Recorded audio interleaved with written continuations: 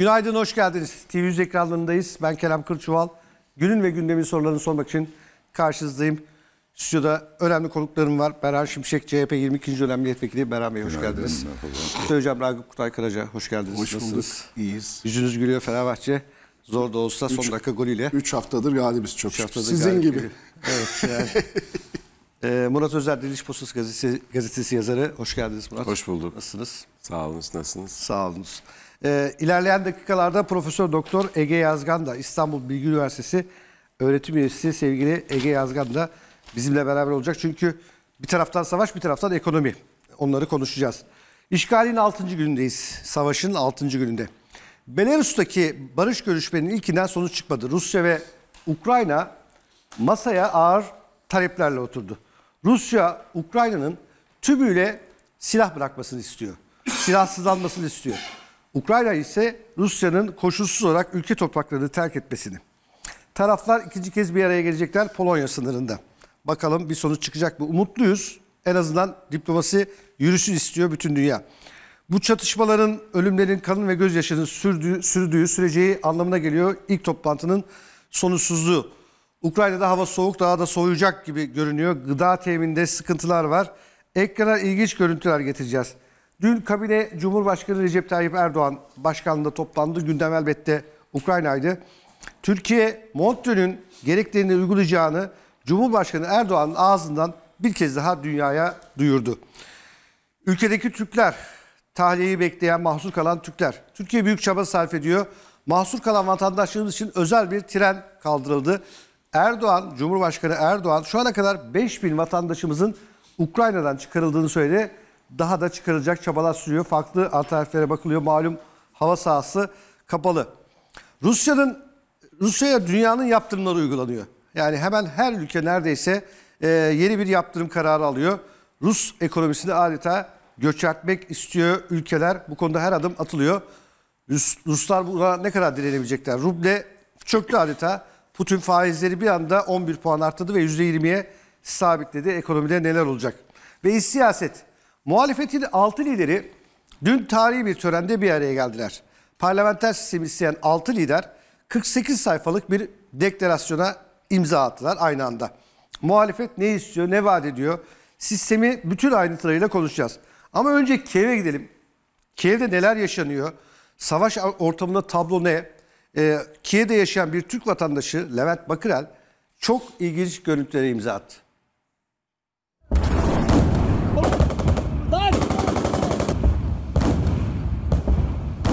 Silahlar geldi. Bomba halinde gidiyoruz. Şu anda almaya.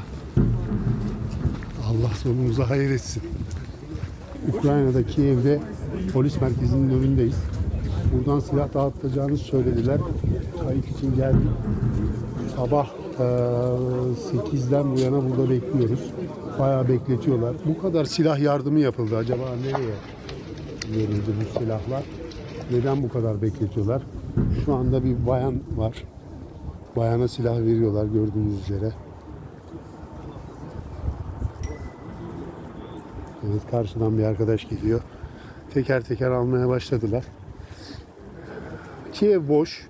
Bütün bütün e, Ukraynalılar özellikle parası olanlar kaçtılar. Şu anda şu anda açıklama yapılıyor.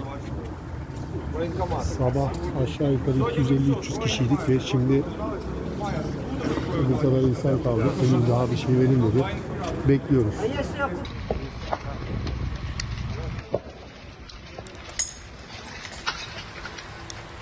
Kiev sokakları. Sokağa çıkma yasağı başlayacak bugün saat 7'de. Şu anda marketin kapısında sıra var. Gördüğünüz gibi. Markete girmek için sıra bekleyen kişiler parça parça alıyorlar. İçeride ekmeği bir adet, iki adet şeklinde veriyorlar. Bankamatikler de aynı şekilde. İnsanlar para çekerken zorluk çekiyor ama genelde dijital para kullanılıyor burada. İnsanlar içeceğini gene alıyor. Kadınlar, çocuklar. Birazdan market kapanacak. Evet arkadaşlar şu anda ekmek bitti. İnsanlar bekliyor bakalım. Ekmek yok.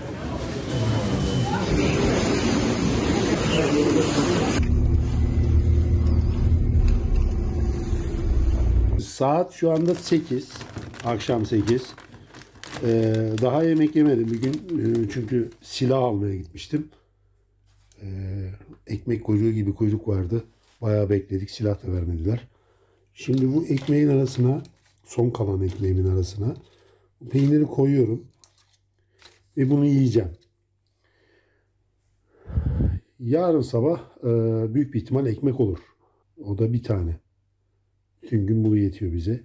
Bir yiyeyim. Şimdi dışarı çıkıyorum. Sokağa çıkma yasağı var. Bakalım ne olacak. Sarı bandım yok. Ama kendime bir tane çöp torbası bağladım böyle.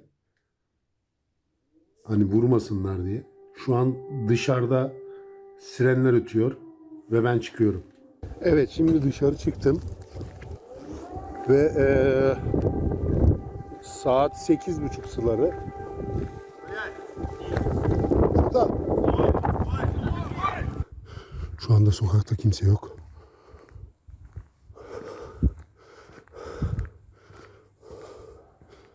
Biraz daha çıkacağım. Ve geri döneceğim. Şu anda Brovari'ye bir saldırı yapmışlar. Doğru ikazlarına uyumaya çalıştım. Ve eve geri döndüm. Şu anda sokakta kimse yok. Cadde bomboş.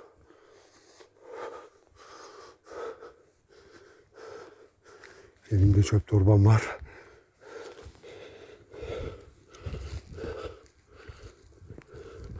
Şu anda siren vesaire hiçbir şey çalmıyor. Şu anda bana ateş ettiler.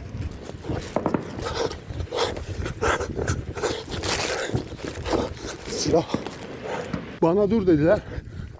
Ve ben eve gelmek zorunda kaldım.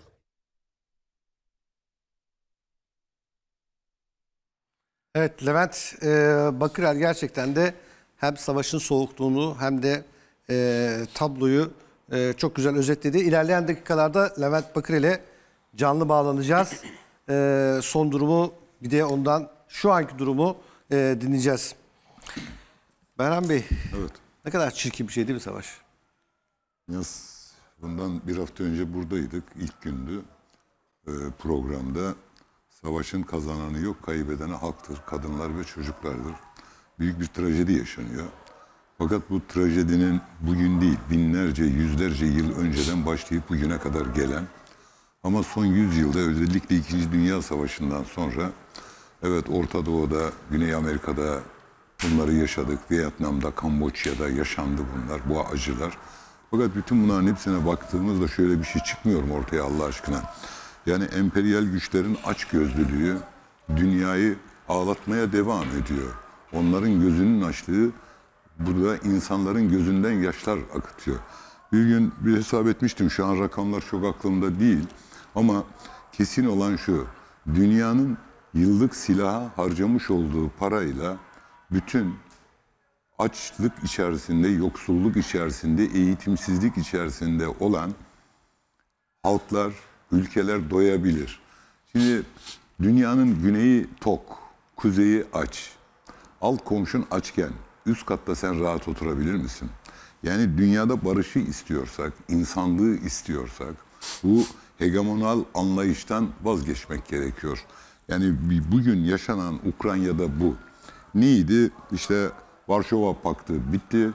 E, Varşova Paktı bittikten sonra şu soruyu sormak lazım. NATO niye bitmedi? NATO da bitmesi gerekirdi. Varşova Paktı için kurulmuştu. Hayır bitmedi. 14 ülke 28-30 oldu. Genişlediler.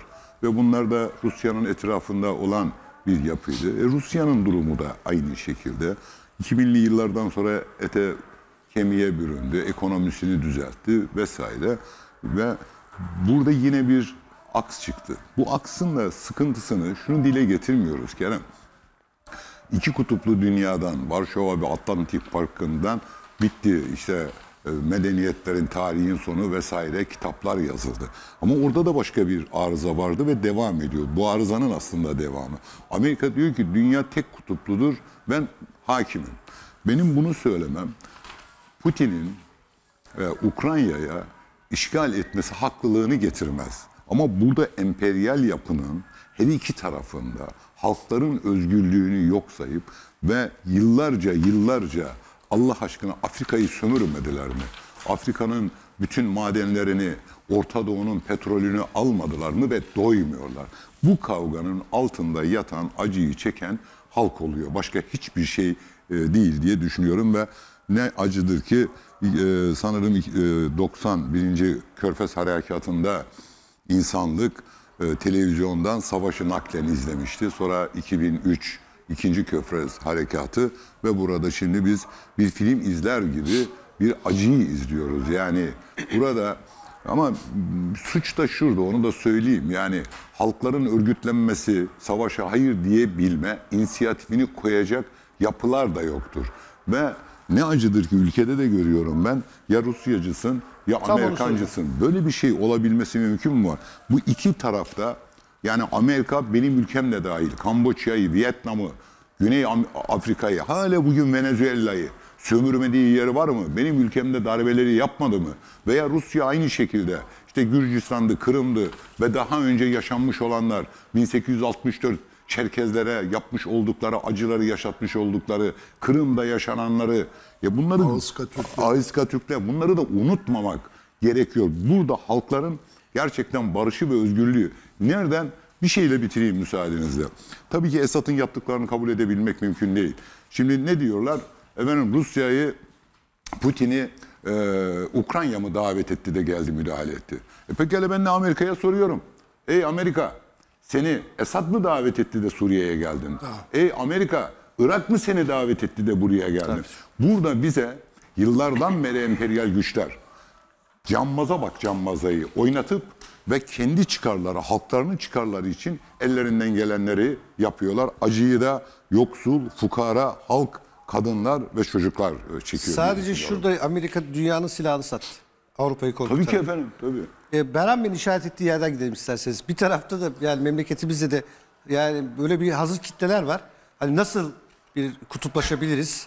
Hani bir mesele olsun da bir kutuplaşalım Ya diye. ama- Bir tarafta NATO'cular, bir tarafta Rusçular. Yani bir tarafta da işte görüntüler, Avrasyacılar, Avrasyacılar da Ay bir de o çıkmasın başımıza. Yani bir asker olarak e, siz nasıl görüyorsunuz 6. bu- gün, bu- savaşın 6. günü? Bu ülkede en zor şey Türk olmak bak Evet. söylüyoruz. Çok doğru.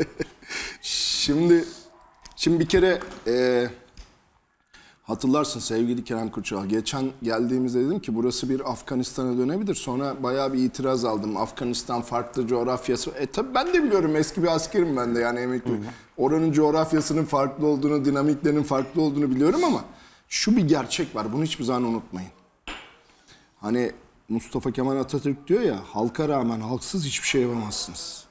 Şimdi silahınız ne olursa olsun ne kadar kuvvetli olursanız olun karşınızda direnmek isteyen birileri var ise o tankınız bir işe yaramıyor. Ve siz onu bataklığa sürekli olarak gömülüyorsunuz. Hele hele Afganistan'a benzetmemin en temel nedenlerin başında bu geliyordu. Bakın en son Amerika'da bir haber çıktı.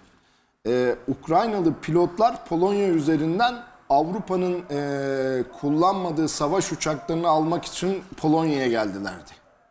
Şimdi bu da çok önemli bir nokta. Yani e, miğfer veren Almanya bile e, artık tank savar e, silahları vermeye başladı. Şimdi direnen bir halk ve silah beslemesi olan bir halk düşüneceksiniz. Şimdi o zaman Rusya acaba gerçekten ikinci bir bataklığa doğru saplanıyor mu? Bu soru ortaya çıkacak. Şimdi birinci nokta bu. Çünkü biz 90'larda soğuk savaş bittiği zaman hep şunu konuştuk o dönem tartışmalarımızda. Acaba bu Rus coğrafyasının birinci dağılımı mı? Hani bunun ikisi üçü olacak mı? Hani belki bu süreç Rus coğrafyasında yeni yeni devletlerin de ortaya çıkmasına neden olacaktır. Bunu unutmamak lazım. Şimdi ikinci noktaya geleyim. Ee, bunu çok duyuyorum o e, bizim Rus sevici e, ekipten. Bu yaptırımlar Rusya'ya bir şey yapmaz. Ya geçin kardeşim bunları ya. Bu 2014'teki yaptırımlar hiçbir şey yapmadı Rusya'ya. Rakamlarla söyleyeyim ben size. Rus gayri safi milli hasılası %40 düştü. Nasıl yapmadı? Nasıl yapmadı? Daha da önemli bir şey Putin bunu sağladı. Bence büyük bir stratejik hata kendileri adına. Soğuk savaş bittiğinden beri Batı kanadının Avrupa'sı, Amerika'sı Çin ve Rusya konusunda sürekli ters düşen politikalar izlediler. Ya bir de şöyle bir şey olabilir mi? Sonuç itibariyle bağımsız bir ülke şu manşeti okuduk bu memlekette çok şükür. Ee, Rusya barış için Ukrayna'da. Tabii tabii. süper. Yani şimdi Tam ne duyamadım. Neden? Rusya barış için Ukrayna'da. egemen bir devlet bir örgüte girmek istiyor. Tamam mı? Ee, egemen bir devlet kendi içerisinde ayrılıkçı gördüğü e, işte bir yeri kontrol alanlara karşı kendi sınırlarını tekrardan almak istiyor. Buna müsaade etmeyip işgalci bir devlet e, Ukrayna'ya barış getiriyor. Şimdi söylem bu. Bir de Ha, şimdi bir şey diplomasiden söz etmek yok. Hep Şimdi biz, Vur kır. biz bunları konuşuyoruz ya o- sosyal medyada anlık şöyle geliyor. Vay Amerikancı falan. Tabii. Şimdi, ya Beyhan Bey'in söylediği çok ne Amerika ne Rusya ne Çin. Biz hep Ankara'dan bakıyoruz yani başka bir yerden değil. Şimdi Amerika'nın ve NATO'nun Batı'nın yaptıklarını bir kenara atabilir misiniz? Ne farkı var şeyle? Ee, Rusya'nın yaptıklarıyla hiçbir fark yok. Ee, ve sonuç itibariyle şöyle bir şey oldu. Ee, bu süreç içerisinde e, konu dünkü yapılan görüşmeyle be- beraber e, diplomasinin de yürüyeceği bir yol gözüktü. Ben hep şunu söylerim bilirsin. Evet. Hani diplomasiyi açacak bir ufacık bir bir, bir, bir şey varsa, e, kapı varsa o devam etmeli. Ha şimdi Ruslar diyor ki biz görüşme olsa bile şeyden vazgeçmeyeceğiz. Çatışmadan vazgeçmeyeceğiz. Orada olmaktan vazgeçmeyeceğiz. Şimdi geçen gün iki gün önceydi galiba Rusya'nın Birleşmiş Milletler temsilcisini e, şey yaptım, e, dinledim. Diyor ki e, Donbas'ta Hitlervari e, e, faşizan politikalar niye kınanmıyor? E şimdi e, öyle bir noktaya geldik ki e sen Kırım'ı ilhak ettin. Neye istinaden ilhak ettin? Şimdi Donbas'ta yarattığın ortam neye istinaden? Ya belki ileride e, konuşabiliriz ama şunu bir söyleyeyim. Çok e, net olarak. Kosova Kosova 2008'de bağımsızlığını ilan ettiği zaman ben o zaman e, komutanlarıma şunu söylemiştim. Ruslar bunu unutmaz. Burada uluslararası hukuk açısından biraz sıkıntı var. Çünkü egemen bir devletin içerisinde bir bölgeyi siz o egemen devlet insanlık dışı eylemlerde bulunuyor diye gittiniz ve harekat yaptınız ve bunu bir uluslararası hukuka sığdıracak bir ortamda yapmadınız. Sonrasında bağımsızlıktan sonra Uluslararası Adalet Divanı esasında aldığı dar kapsamlı kararla bağımsızlık ilanı uluslararası hukuka aykırı değildir. İlanı değildir. İlan etmek değildir. Yani herkes ilan edebilir ama mesele tanınmadır noktasına getirdi. Ve Batı'nın hepsi Kosova'yı tanıdı. Putin'in geçen hafta yaptığı açıklamaya, harekat öncesi açıklamaya dikkat et sevgili Kerem. Dedi ki Kosova'da referandum yapıldı, bağımsızlık verdiniz. Niye Osetya'yı, Abazya'yı, e, e, Donetsk'i, Lugansk'ı, Kırım'da yapılanları tanımıyorsunuz dedi. Yani al birini vur ötekine. Bir, bir fark yok. Peki. Ee, bir de Türkiye'nin durumu var. Yani Türkiye e, dün mesela Cumhurbaşkanı Erdoğan'dan çok önemli bir cümle var. Diyor ki Amerika'ya yani Ukrayna'da komşumuz, Rusya'da komşumuz. Ne Ukrayna'yı ne Rusya'yı kaybetme niyetimiz yok. Ve daha önemlisi Montreux'u uygulayacağız. Nasıl buluyorsun Türkiye'nin tutumunu ya da bu süreçte Türkiye'nin konumlanmasını? Evet. Bence dünyada yani adil bir dış politika kim dünyada e, yürütüyor denildiğinde akla gelecek ilk ülke Türkiye. Gerçekten de hem e, ABD emperyalist saldırılarının coğrafyamıza ne kadar büyük zararlar verdiğini en şiddetli bir şekilde Türkiye yaşadı. Hem Irak ve Suriye'deki meseleden, Afganistan'daki işgallerden. Hem de Rusya'nın e, özellikle Kuzey Kafkasya'da yapmış olduğu işgallerden, Çeçenistan, Dağıstan, Çerkezistan işgallerinden, Kırım'ın ilhakından, bütün bunlardan, bütün bunlar bizim kendi coğrafyamız ve hani 100 yıl öncesine kadar da bizim topraklarımızdı. Doğal olarak şu anda savaşın olduğu tüm son 25 yıldır, 30 yıldır savaş nerede varsa bütün bu savaşın olduğu coğrafya bizim zaten doğrudan ya bir dönem topraklarımızdı ya da hani gönül coğrafyamız dediğimiz yer bizim kendi parçamız yani. O açıdan burada en ciddi şekilde etkilenen e, psikolojik olarak etkilenen, ekonomik olarak etkilenen, mülteci konusunda etkilenen insan e, konusunda yani Irak'ta bir harp olduğunda işte Halepçe katliamında Irak'tan geldi insanlar. Suriye'deki meseleden dolayı Suriye'den geldiler.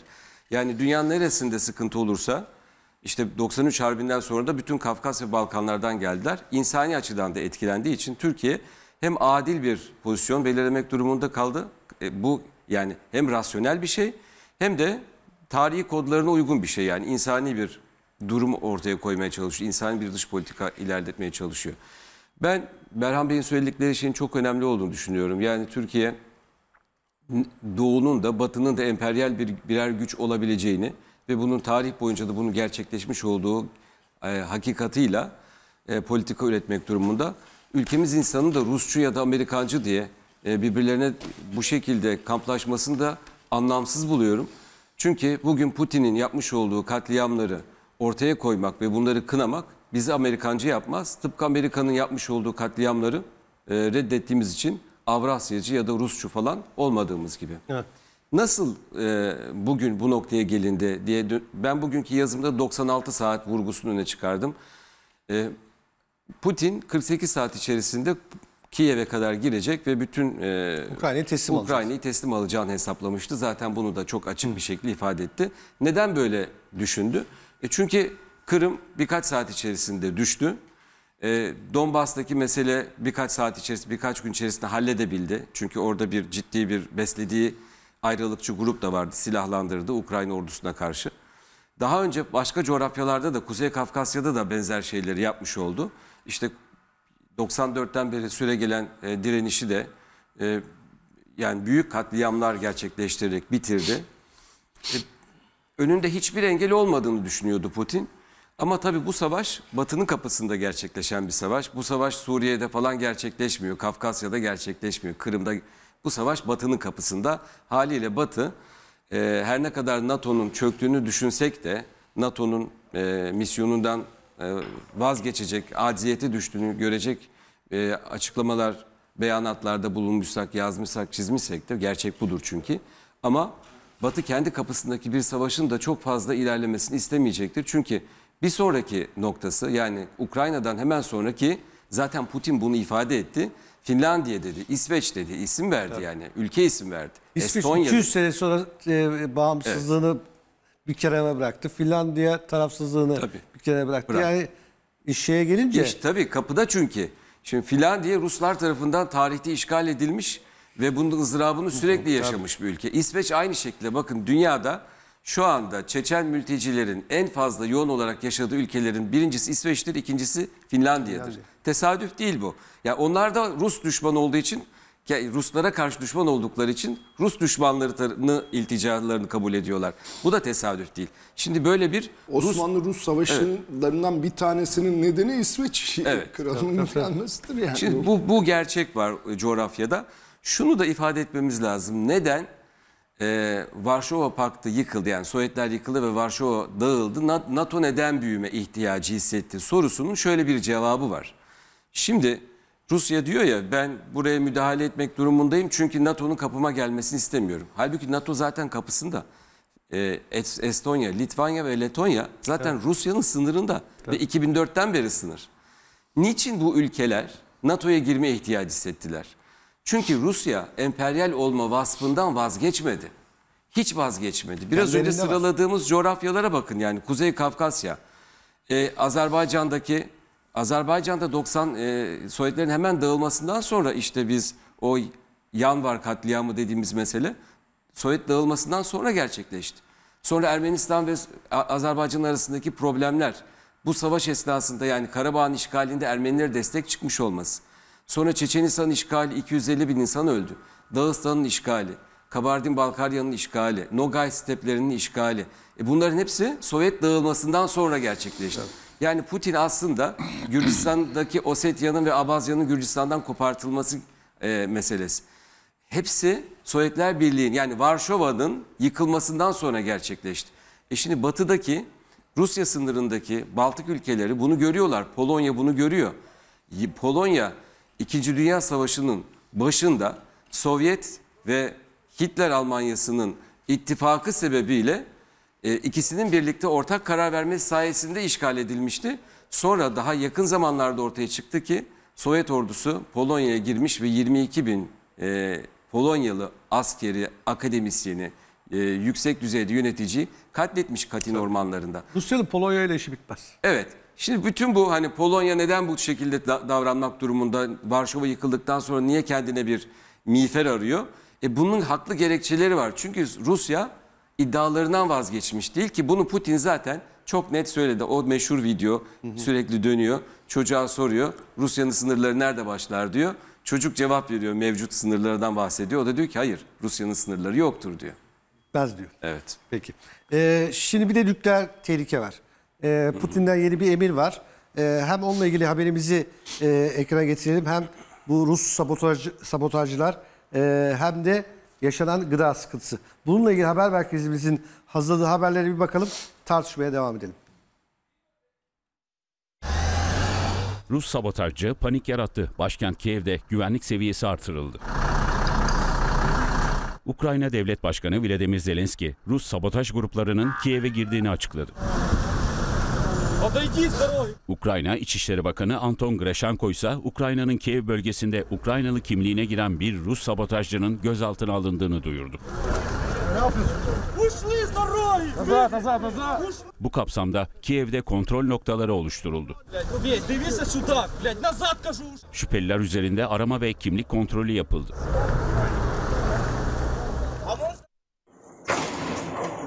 Bombalar yağdı.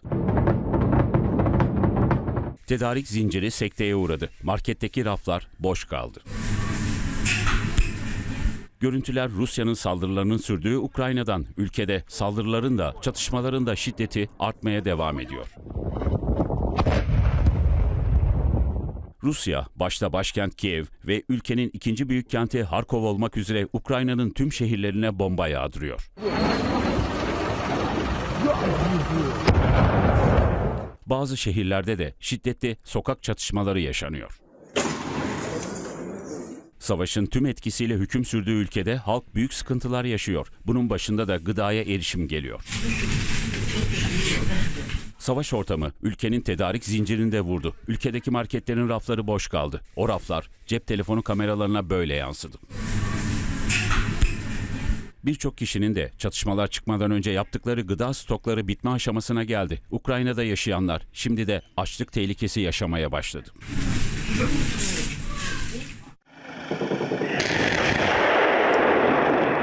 Putin orduya emir verdi. Nükleer caydırıcı güçleri alarma geçirdi. Rusya Devlet Başkanı Vladimir Putin kurmaylarını topladı. Savunma Bakanı Sergey Shoigu ve Genelkurmay Başkanı Valery Garasimov'la görüştü. Rus nükleer caydırıcı kuvvetlerinin yüksek alarma geçirilmesini istedi talimatıyla nükleer silahları ve hipersonik füzelere sahip birlikler özel savaş görevi durumunu aldı. Putin, devlet televizyonunda yayınlanan konuşmasında Batı'nın tavrının düşmanca olduğunu söyledi. Ekonomik yaptırımlara tepki gösterdi. NATO üyelerinin üst düzey yetkilileri ülkemize karşı saldırgan açıklamalar yapıyor dedi. Nükleer emrini bu nedenle verdiğini açıkladı. En tehlikeli mesele yani ateşle oynamanın ötesi. Bir asker olarak e, Kutay Hocam.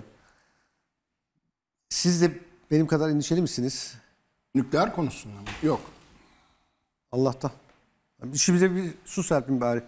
Ya dehşet dengesi bu soğuk savaş döneminde de mevcut bizim dehşet dengesi dediğimiz bir denge. Şimdi Putin'de nükleer silah var, öbür tarafta yok mu? Hani e, ama ben şunu görüyorum. E, stüdyomuzda bir ses var. E, arkadaşlarımı uyarayım. Evet. Putin e, Putin'in bu söyleminde şunu görüyorum. Hani e, yani konvansiyonel olarak e, hani benim karşımda olabilirsin ama bende nükleer de var. Hani bunu da kullanırım. Bu bir tehdit. Hani dün Biden'a da soruldu bu.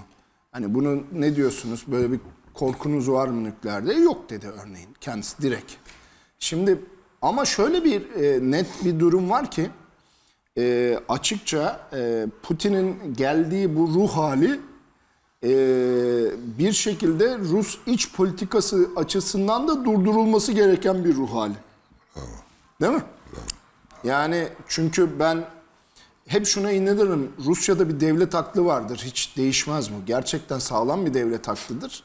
Ve bu devlet aklını e, Putin'in bu şekilde e, beyan etmesine birileri de itiraz ediyor. Bakın iki gün önce e, iki tane Putin'in çevresindeki önemli oligarklardan ikisi net olarak dediler ki biz savaş istemiyoruz. Hatta bir tanesi Ukrayna doğumlu. Ben Ukrayna yarı Ukraynalı sayılırım dedi.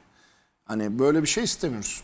Ve kız şey oluştukça hem ekonomik e, yaptırımlar baskıyı arttırdıkça hem de Ukrayna'daki direniş e, kendini daha fazla Rusya'ya hissettirecek ki şunu da söyleyeyim sevgili Kerem Kurçuval %75 askerini soktu. Hani bir kere öyle daha Rusya çok askerini sokmadı falan hikayesi kimse yaratmasın. Sınırdaki %75 askerini Ukrayna'ya soktu. Yani buna rağmen olmuyor. Ee, Ve ciddi bir- zayiat verdiği de ciddi gerçek zayiat yani. verdiği de kesin. Çünkü şöyle bir şey var. Onu da bir asker, eski bir asker. Şimdi meskun mahallede savaş yapmakla karşı iki savaş ilanıyla savaş yapmak arasında fark var. Siz meskun mahalle tankı sokarsınız şehrin içerisine. Tank dediğiniz şey belki bir topla bir evi yıkabilir. Ama yıktığınız zaman o evin altında kalan tüm si- sivillerden sorumlu olursunuz. Bu da savaş hukukunda yargılanmanız anlamına gelir. Ama o pencereden bir tane tank savarla ya da tank savarı bırakın molotov, molotov kokteylle o tankın işini bitirirsiniz. Çok güzel bir e, e, video vardı. Seyrettiniz mi? Televizyonlarda da gördüm. Bir Ukraynalı çiftçi tankı e, traktörün arkasına tak- takıp götürüyor. Neden? Yakıtı bitmiş. Tank bom e, tahrip edilmemiş. Yakıtı bitmiş. Şimdi bir işin bir de yani savaşın bir de lojistik e, pozisyonu var. En önemli pozisyonu. Yani siz lojistik geri besleme yapamazsanız bu daha da büyük sıkıntı. Ve yine söylüyorum bu nükleer tehdit konusu ha bak bende nükleer tehdit var. Hani Batı da e, döner tamam kardeşim bende de var. Hani sen dünyayı e, nereye götüreceksin? Ve Soğuk Savaş döneminde de bunları gördük. Yani işte Küba krizinde Kennedy dedi ki açın kardeşim şifreleri girmek durumunda kalabilirim dedi örneğin. Hani bu tehditleri gördük dünya, e, Soğuk Savaş döneminde de. Ama ben tabii bunun e, gerçeğe dönmesi e, gerçekten bir felaket. Bir şey daha ileteyim. Geçen e, gördüm onu da birileri tarafından söylenmiş ve yazılmış. Çok net olarak.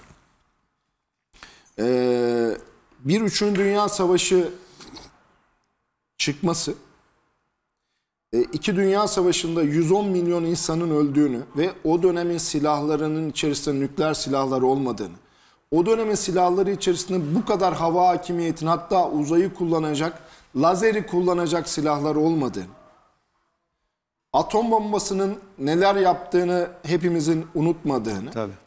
düşündüğünüz zaman bir dünya Hiroşima. bir dünya savaşının öyle milyonlar değil milyarları götürebileceğini bir kenara atmamak lazım. O yüzden bu savaş çığırtkanlığını kesinlikle bir kenarda hiç konuşmadan tutmak lazım. Peki. Şimdi hemen bir Kiev'e gidelim. Az önce e, bize Kiev'deki son durumu e, çekimleriyle gösteren Levent Bakırel Kiev sokaklarında.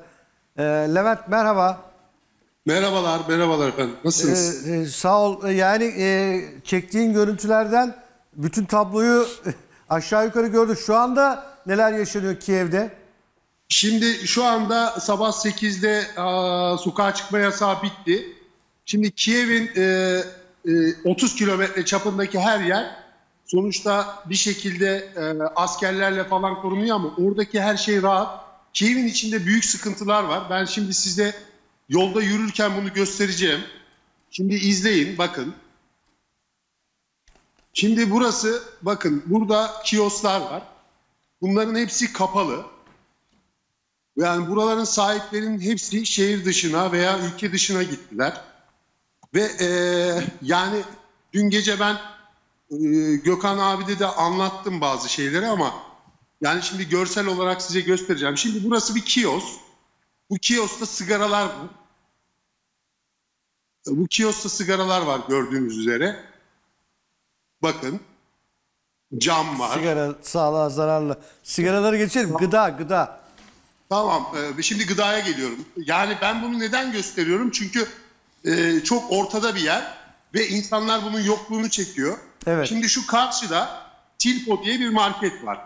Evet. Bu marketin normaldeki açılış kapanış saati 7.24. Saat 12 ile 12 çeyrek arasında sadece kasa değişimiyle kapanıyor. Ve bu şu anda Kiev'in 30 kilometre çapındaki dışındaki her yerde açık olan market şu anda şu anda görüyorsunuz insanlar kuyruk bekliyor. Bakın Evet.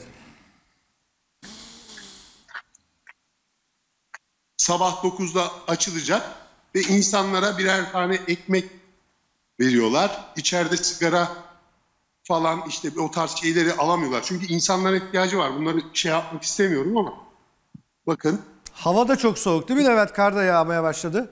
Bugün kar yağdı. Bugün kar yağdı. Bugün ben bütün günümü dışarıda geçireceğim. Sığınaklara vesairelere falan gideceğim. Buradaki genel anlamdaki durumu göstereceğim. Çünkü Kiev'in merkezi gerçekten eee, yani Dnipro'da, Zaporije'de böyle sıkıntılar yok. Ama bakın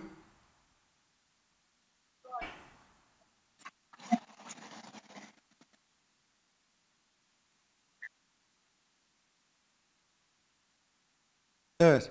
böyle.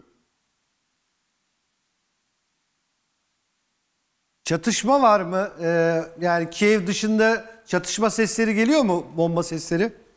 Tabii Kiev dışında çatışmalar var. Dün gece Bruvari diye bir buranın bir reyonu var. Oraya bir füze atıldı. Tabii insanlar e, sonuçta panik. Ben dün ge- dün gece dışarı çıkmak istedim. 6 tane asker e, tabii ben sokağa çıkma yasağına uymadığım için haliyle e, bir ateşli saldırıya uğradım. Tepki aldım. Ukrayna askerlerinden tabii. Adını biliyorum. Ukrayna askerlerinden uyarıldınız değil mi? Askerleri tarafından. Hatta Ukrayna askerleri. Yani Kiev'de kontrol var. Yani bir şekilde e, kontrolü yani çünkü ben hani sarı bant taksam da istediğim bir şekilde başka türlü düşünceli olsam da kendimi kamufle edebilecek düşüncesiyle hareket ediyorlar. Doğru yapıyorlar. Yani aslında bu bunun da iyi bir göstergesi oldu diye düşünüyorum. Yani insanlar sokağa çıkmasın. E, sıkıntı yaşamasın. Ya şey dün sorabilir miyiz? tabii, Soru sorabilir Murat miyiz? Özel'in bir sorusu var. Şimdi sabotajcılardan bahsediliyor. Sabotajcılar Ukrayna içinde yaşayan Rus yanlısı e, çeteler mi yoksa doğrudan Ukrayna askeri kılığına girmiş Rus askerleri mi? Yani özel yetiştirilmiş. Evet. evet. Evet. Evet. bunlar kimlerdir sabotajcı? Şimdi tabii ki bir sürü söylenti var. Ee, ya benim kendi fikrim başka, söylentiler başka. Ama e, tabii ki e, bu, bu Putin gibi bir adam burada daha önceden bu tarz bir yapılanma yapmıştır. Ve kimin ne olduğu belli değil. Sonuçta e, burada çok Rus yaşıyor. Rus yanlısı insan var. Yani e, insanlar bekliyor bir şekilde. Peki yani, Yani- onlar arasında bir çatışma var mı? Yani orada yaşayan Rus vatandaşlarıyla Ukraynalılar arasında. Yani oradaki tablo nasıl? Yani Yok, ko- yok. komşuluk devam ediyor. Öyle bir çatışma yok. Öyle yani bir iç savaş gibi insanların birbirine e, silahlanıp bir ateş etmesi gibi bir durum yok. Yani içeride güvenlik var yani. E, güvenliği had safhada tutuyorlar. Askerler, buradaki polisler falan güzel çalışıyorlar yani. Peki e, bir de dün e, çektiğin görüntülerde silah dağıtımı vardır. Sen silah alabildin mi? Yok ben silah alamadım. Ee, bayanlara genelde silahla ilgili destek veriyorlar. Şimdi tekrar oraya gidiyorum. Ee, yani e, tabii şansımı zorluyorum. Bu konu kolay olmayacak. Çünkü ben bir Türk vatandaşıyım sonuçta.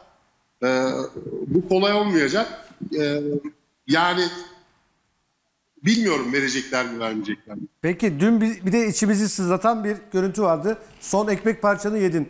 Yani e, gıdaya erişebilecek misin? Gıdaya erişeceğim şimdi bu e, kuyruğa girip orada işte bir tane ekmek alacağız. Akşama kadar bir şekilde tabii ki dışarıda destekler veriyorlar mutlaka. Ukrayna o kadar bu konuda şey değil. E, gaddar değil yani.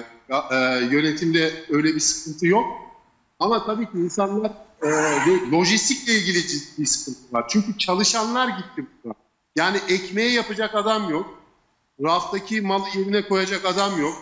Depodan malı getirecek adam yok. Böyle bir şey olduğu zaman da istemez sıkıntı doğuyor.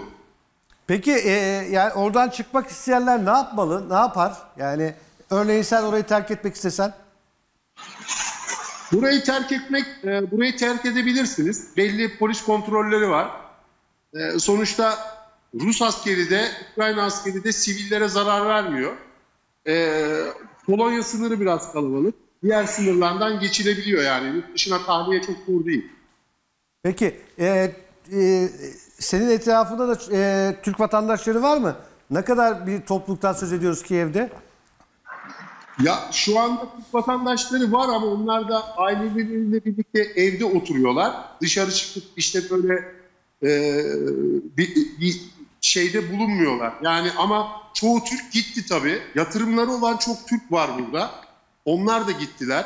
Onlar da yatırımlarının peşindeler. Yani bir, bir grup oluşturamıyorsunuz. O gruplar zaten gitti.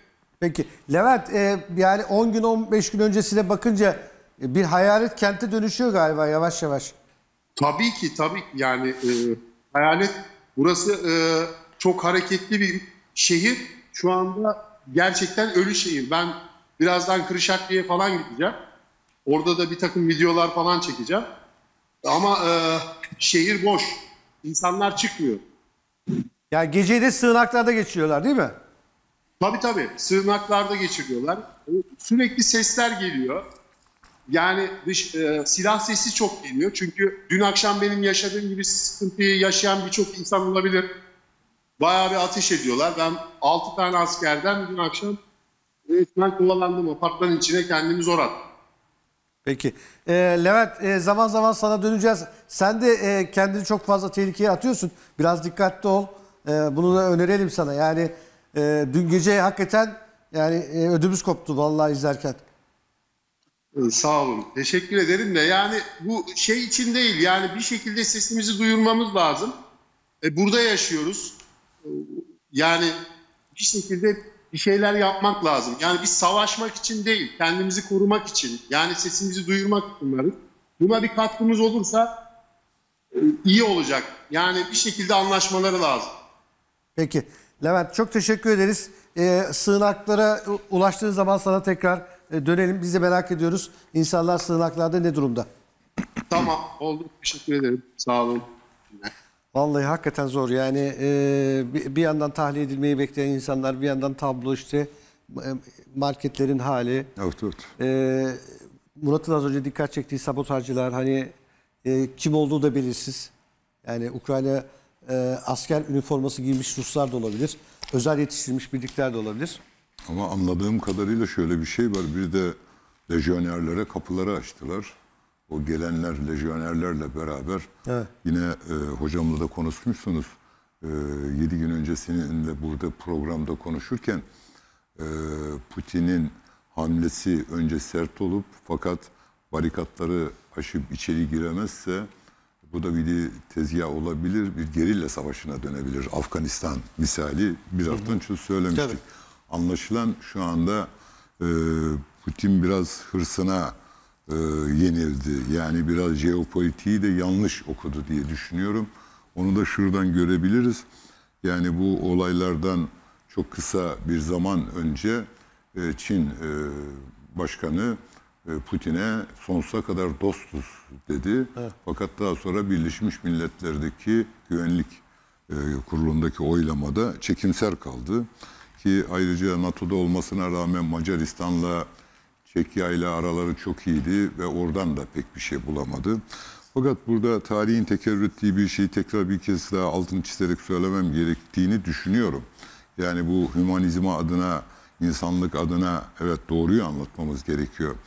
Şimdi Murat kardeşim dile getirdi.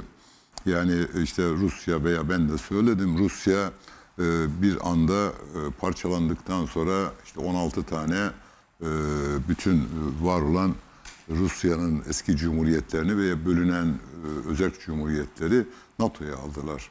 E, pekala Varşova Paktı bittikten sonra e, NATO'ya ihtiyaç var mıydı? O zaman NATO varsa Birleşmiş Milletler'e ne gerek var? Yani işte buradan bakmamız gerekiyor. Yani e, Sayın Erdoğan'ın e, doğru söylediği iki şey vardır benim için. Bir tütünü bırakın demiş olması bugüne kadar yaptıklarından biraz sonra da anlatacağım. Kayıtlara geçsin. Kayıtlara geçsin. Kayıtlara zaten yaşam geçirdi Erdoğan'ı. Hayat geçirdi. Silemezler ki. Murat'ın gücü de yetmez ki kardeşimiz silsin. Ya bu, Yok, burada Sataş'ı diye demedim ya. Yok yok Murat gerçekten güzel bir şey dedi Sam- diyor.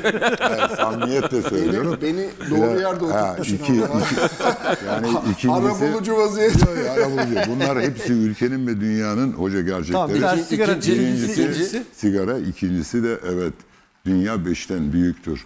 Yani NATO şimdi Avrupa bir ordusunu kurmak istedi, kuramadı. Anayasasını çıkarmak istedi, çıkaramadı.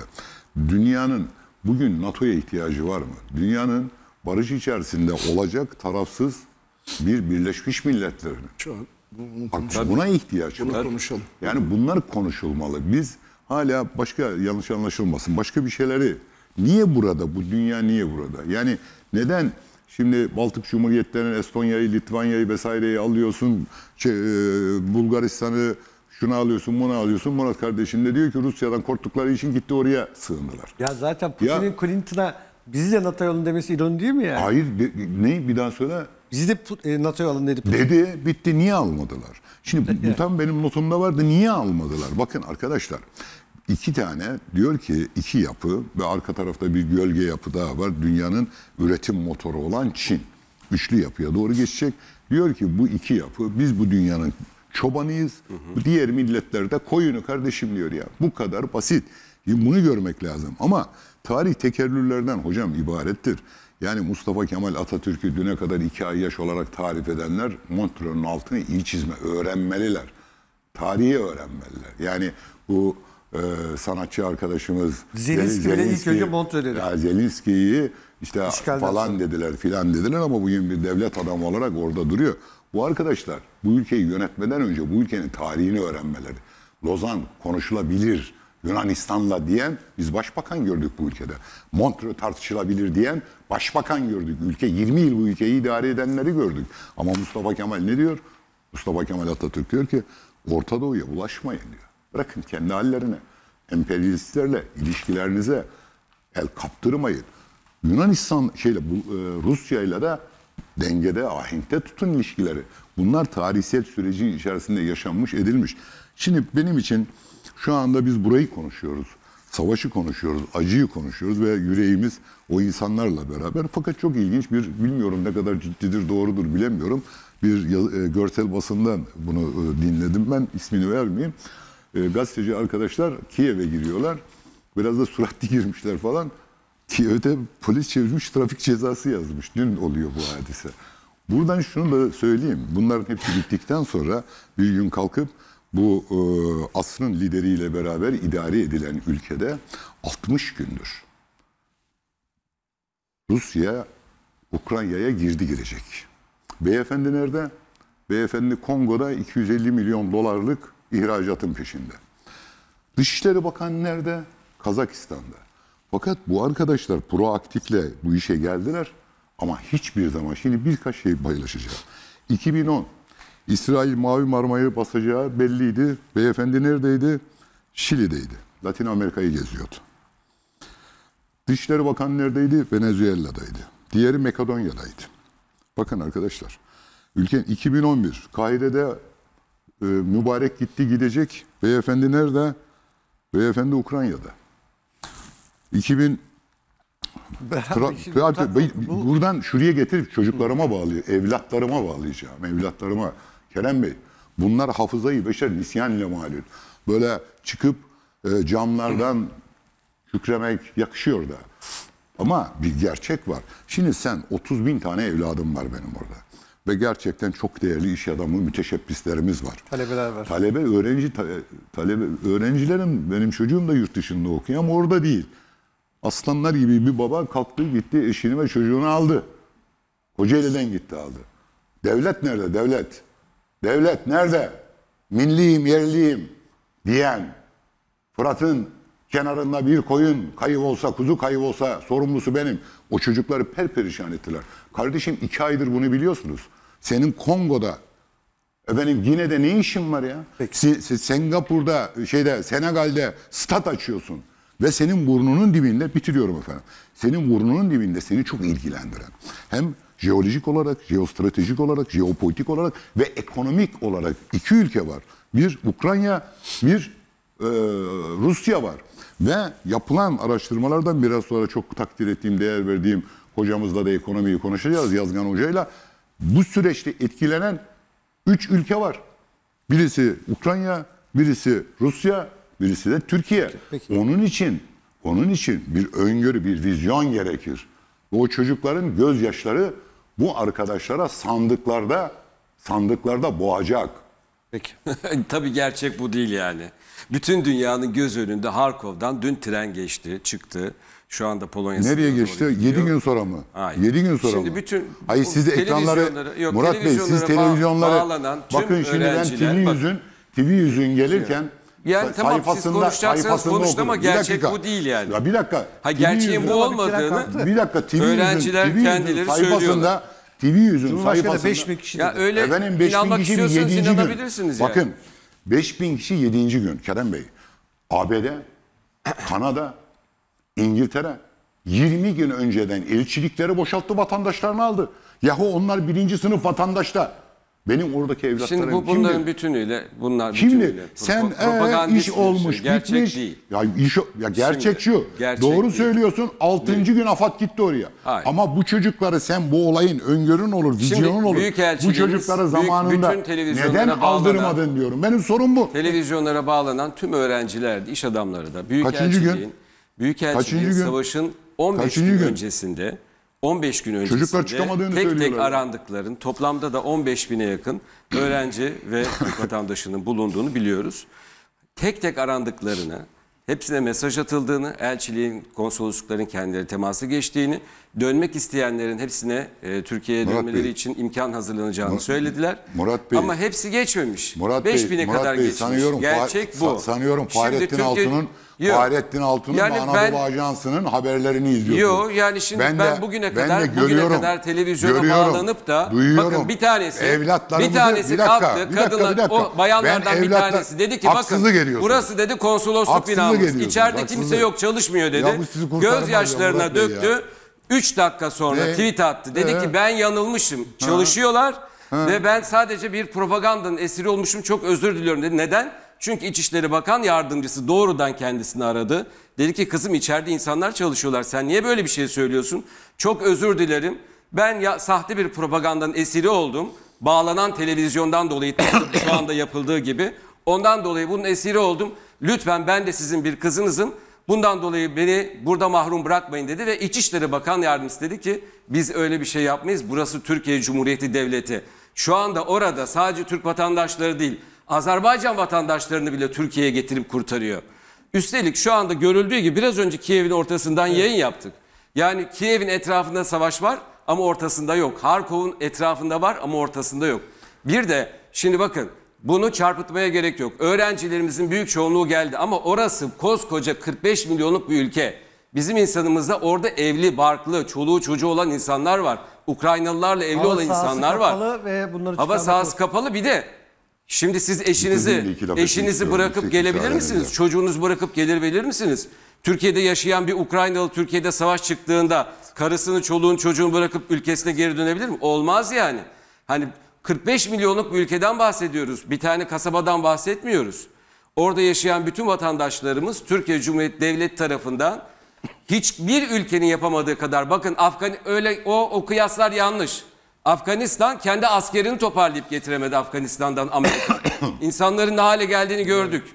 Değil mi? Amerikan parlamentosu dedi ki siz bizim askerlerimizi orada mahsur bıraktınız ya. Bu nasıl çekilme dedi. Biz Türkiye Cumhuriyeti Devleti'yiz. Burası da 20 yıldır Erbaka, Erdoğan tarafından yönetiliyor. Burası Türkiye. Onun için herkes Türkiye'de siyasetin nasıl yapıldığını, Erdoğan'ın nasıl barışçı, bütün dünyada, bütün dünyada nasıl barışçı bir politika izlediğini Zelenski'nin açıklamalarından gör. Zelenski ne dedi? Bu toplantı ya İstanbul'da yapılır ya Varşova'da yapılır dedi. Neden böyle dedi? Neden gidip de başka bir yerde demedi? Neden demedi? Çünkü Türkiye gerçek anlamda adil bir dünya mümkündür diyen. Afrika'ya da gidecek, Venezuela'ya da gidecek. Dünyada Venezuela'da Amerika darbe gerçekleştirirken hayır biz bu darbeye karşı direneceğiz. Onların arkasındayız. Üstelik onlar komünist olmalarına rağmen biz halkların iradesinin yanındayız diyen sadece Türkiye var. Onun için o politika yapanlar anlamayabilirler bunları. Mısır'da darbe yapıldığında Sisi'nin yanında el pençe divan duranlar bu gerçeği anlayamayabilirler. Arkadaşın anlattığı 1 kadar milyon Suriye'de Esed rejimi 1 duyuyoruz milyon bir dakika Suriyeli Murat, Müslümanı bağırma, katlettiğinde bağırma. Esed'in yanına gidip Bağırma. el pençe divan durup Bağırma. böyle bağlayanlar Bağırma. anlamayabilirler. Bağırma, bağırma. 1 milyon Müslüman Suriyeli masum insanı öldüren tam 217 defa kimyasal katliam yapılan Suriye'de hala Esed'i savunanlar bu gerçeği anlayamayabilirler. Ama adil bir dünya mümkün diyen, dünya beşten büyüktür diyen, dünyanın bütün dengelerini değiştiren bir lider var ve o lider 20 yıldır Türkiye yönetiyor. Öyle bir Türkiye ile karşı Bey, karşıyalar. Şimdi Yanıtınız ben- varsa ben- şu, şeye geleceğim çünkü Hayır, BM abi, NATO. arkadaşımız bir uzun bir tirat attı böyle. Ama Sokra- sizin tiradınızın yanı da bir şey değil yani. Ee, Müsaade eder misin Murat Bey? Sakin ol. Rengin falan kaçıyor. Sen sakin bir arkadaşsın. Ben bu konuda seni çok seviyorum ve destekliyorum. Ama ne olur sakin ol. Allah Ama muhafaza. gerçekçi şey üzerinden Al- al- şimdi olur. Konuştunuz Ama bitti. gerçekçi Bak olmayan bir şey kardeşim, üzerinden Değerli kardeşim bu sabah programı güzel bir program. yani onlar o çocuklar hala- orada mahsur hala- kaldı hala- sandıkta onları boğacak hala- falan bu gerçek dışı şeyler üzerinden politika ben yanlış bağır- bir şey Hayır, varsa ben- söyleyin. Eyvallah diyeyim Murat ben. Bey ben bağırırsam bu ışıklar aşağıya düşer. Burası bağırma cumhuriyeti değil. Sakin sakin anlatma cumhuriyeti. Kardeşim ben bir öngörüyü söylüyorum. Dün AFAD oraya yetişmiştir. Fakat Tren kaldırıldı. Evet, tren kaldırdı. Bugün gelirken haberlerde izledim. Bir tren daha kalkacak. 6 saat gecikmesi var. Olabilir. Ben ne diyorum ki? Savaş var ya. Savaş var tabii. Ben de diyorum ki Amerika, İngiltere, Kanada elçisini, vatandaşlarını çekerken Kiev'de yok ama Harkov'da var. Üniversitede okuyan çocuklarımız orada. Biraz önce son dakika haberlerinde e, Harkov belediye binasına füze atılmış. Bu bir öngörü meselesi. Sen eğer sen eğer politikayı ve öngörüyü çok iyi bilen bir vatandaş olsan Burada bekledin Putin gelsin. Gittin Zelenski ile görüştün. Putin'i burada bekledin. Putin'le var o diplomayı sürdür. Efendim kalkıp yineye şuraya buraya. Ben bir dedim anlattın beş. Esad'a gittin, Irak'a gittin, oraya gittin, buraya gittin. Bütün meselelerin içerisinde getirip bu milletin samimi dini duygularını ve ulus değerlerini istismar etmeyelim. İçini doldurarak bunları yaşayalım. Benim söylediğim bir gerçek ortada kardeşim. Ben kalkıp Siz sana şunu- erken hareket edilebilirdi diyorsunuz. Tabii ki bakın şimdi örneğini de vereceğim. Libya'da yapılan burada yapılamamıştır. Libya'dan ki süreçte orada çalışanlarımız şunlar bunlar sağlıklı bir şekilde alınmıştır. Ama, şu da bir gerçek. Bütün dünya şunu kabul ediyor. Yani kimse Putin'in bu kadar hızlı e, hareket edeceğini, bu kadar ileri gideceğini düşünmüyordu. Yani Hayır. sadece tanıdığı bölgelerde Bütün kalacağını düşünüyordu. ülke- Herkes de yanıldığını da kabul ediyor. Kerem yani. Bey bütün dünya yanılmış olsa da İngiltere, Amerika, Kanada da mı yanılmıştı? Aldı götürdü. Burada ben Ya bu konuştuklarımı Rusya'dan yeni çıkın diyor Hayır, hayır ben bunları konuştuğumu siyasetin üzerine değil. Bu eksikleri söylemeyecek miyiz? Yani şöyle bir Söylediniz. şey. Tabii tabii şöyle bir teşekkür ederim. Şöyle bir şey var değerli kardeşlerimle sümme aşağı inancı olan bir insanım. Cenab-ı Hak Teala eğer Sayın Erdoğan'ı yaratmasaydı onun yüzü suyu hürmetine bizi de yaratmazdı. Bu kadar ilahileştirerek, tanrılaştırarak bir şeye gerek yok. Yanlışlar da vardır, doğrular da vardır, yapılabilir. Yapılan yanlıştır kardeşim. Yaptığı yanlışı kendi dizide bildiği için e, Kongo'dan Senegal'e, Gine'ye gitmeden buraya döndü geldi. Kendi yanlışını kendi gördü. Sen o kendi yanlışını Hayır, ondan dolayı gördüğünü dönmedi. sen kendi Koruma amiri hayatını kaybetti. Kalp krizi geçirdi ondan dolayı. o Allah rahmet gitti. O kardeşimize çok Peki yani üzüldüm. ama şu- çok o kare meselesinden başka bir yere gidiyoruz. Tabii tabii. Çok üzüldüm. Allah rahmet etsin. Ama bunu senin herhalde yazmışsındır ama ben basında okudum ki Ukrayna meselesinden dolayı döndü. O kardeşimize de Allah rahmet etsin ailesine ve meslektaşlarına da ülkeme de başsağlığı diliyorum. Yanlış yanlıştır kardeşim. Takdirini de izleyicilere Şimdi bırakın. Senegal bir, bir şey bir söyleyeceğim. Bir cümle. Şimdi Bir cümle ya ya Afrika'nın ne kadar önemli olduğu gerçeği bir kenara. Önemsiz mi diyoruz? Bak kardeşim, Senegal'de başka bakın, bir şey konuşuyoruz ya. Senegal'de bak bir şey söyleyeceğim. Tamam, bir cümle lütfen. 500 milyon dolarlık bir e, dış ticaretimiz var Senegal'le.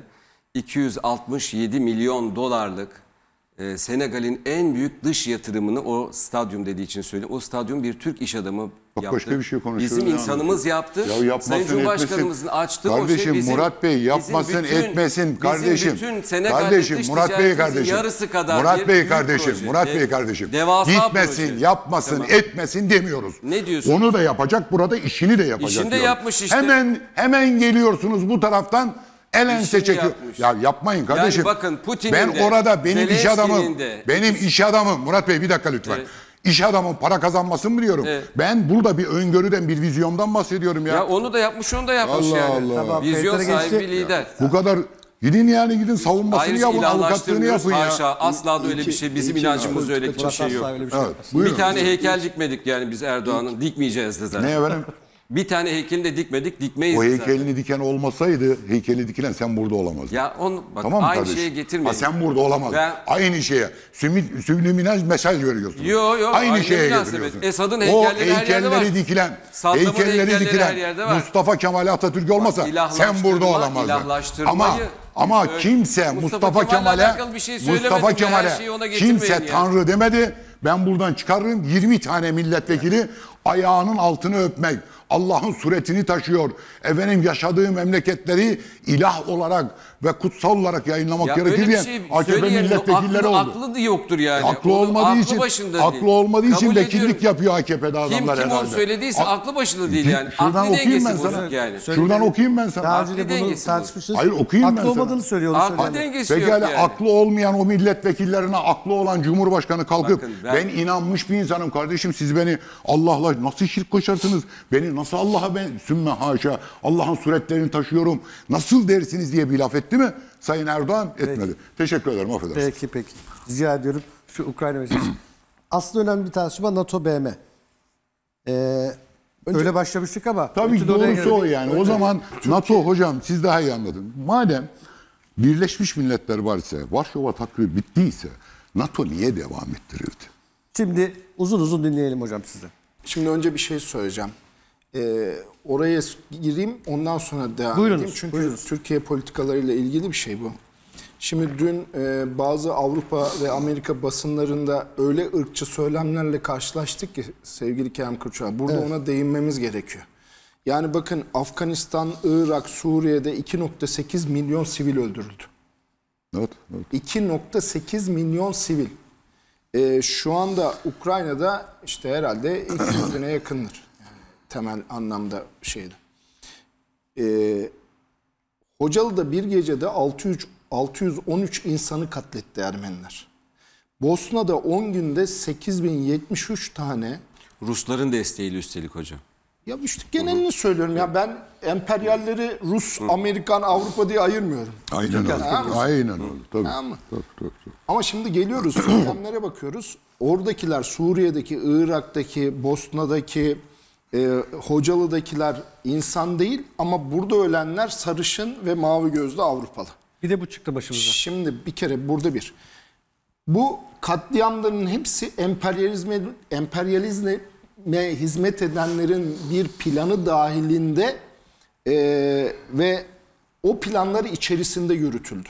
Şimdi Ukrayna üzerinde de esasında emperyalizmler, emperyalistler kendi planları dahilinde bir e, oyun çiziyorlar. Bunun içerisinde Rusya'da var, bunun içerisinde Avrupa'da var, bunun içerisinde Amerika'da var. Yani o bir Şimdi- görüntü vardı hatırlar mısınız? Kutay Bey unutmayın sözünüzü.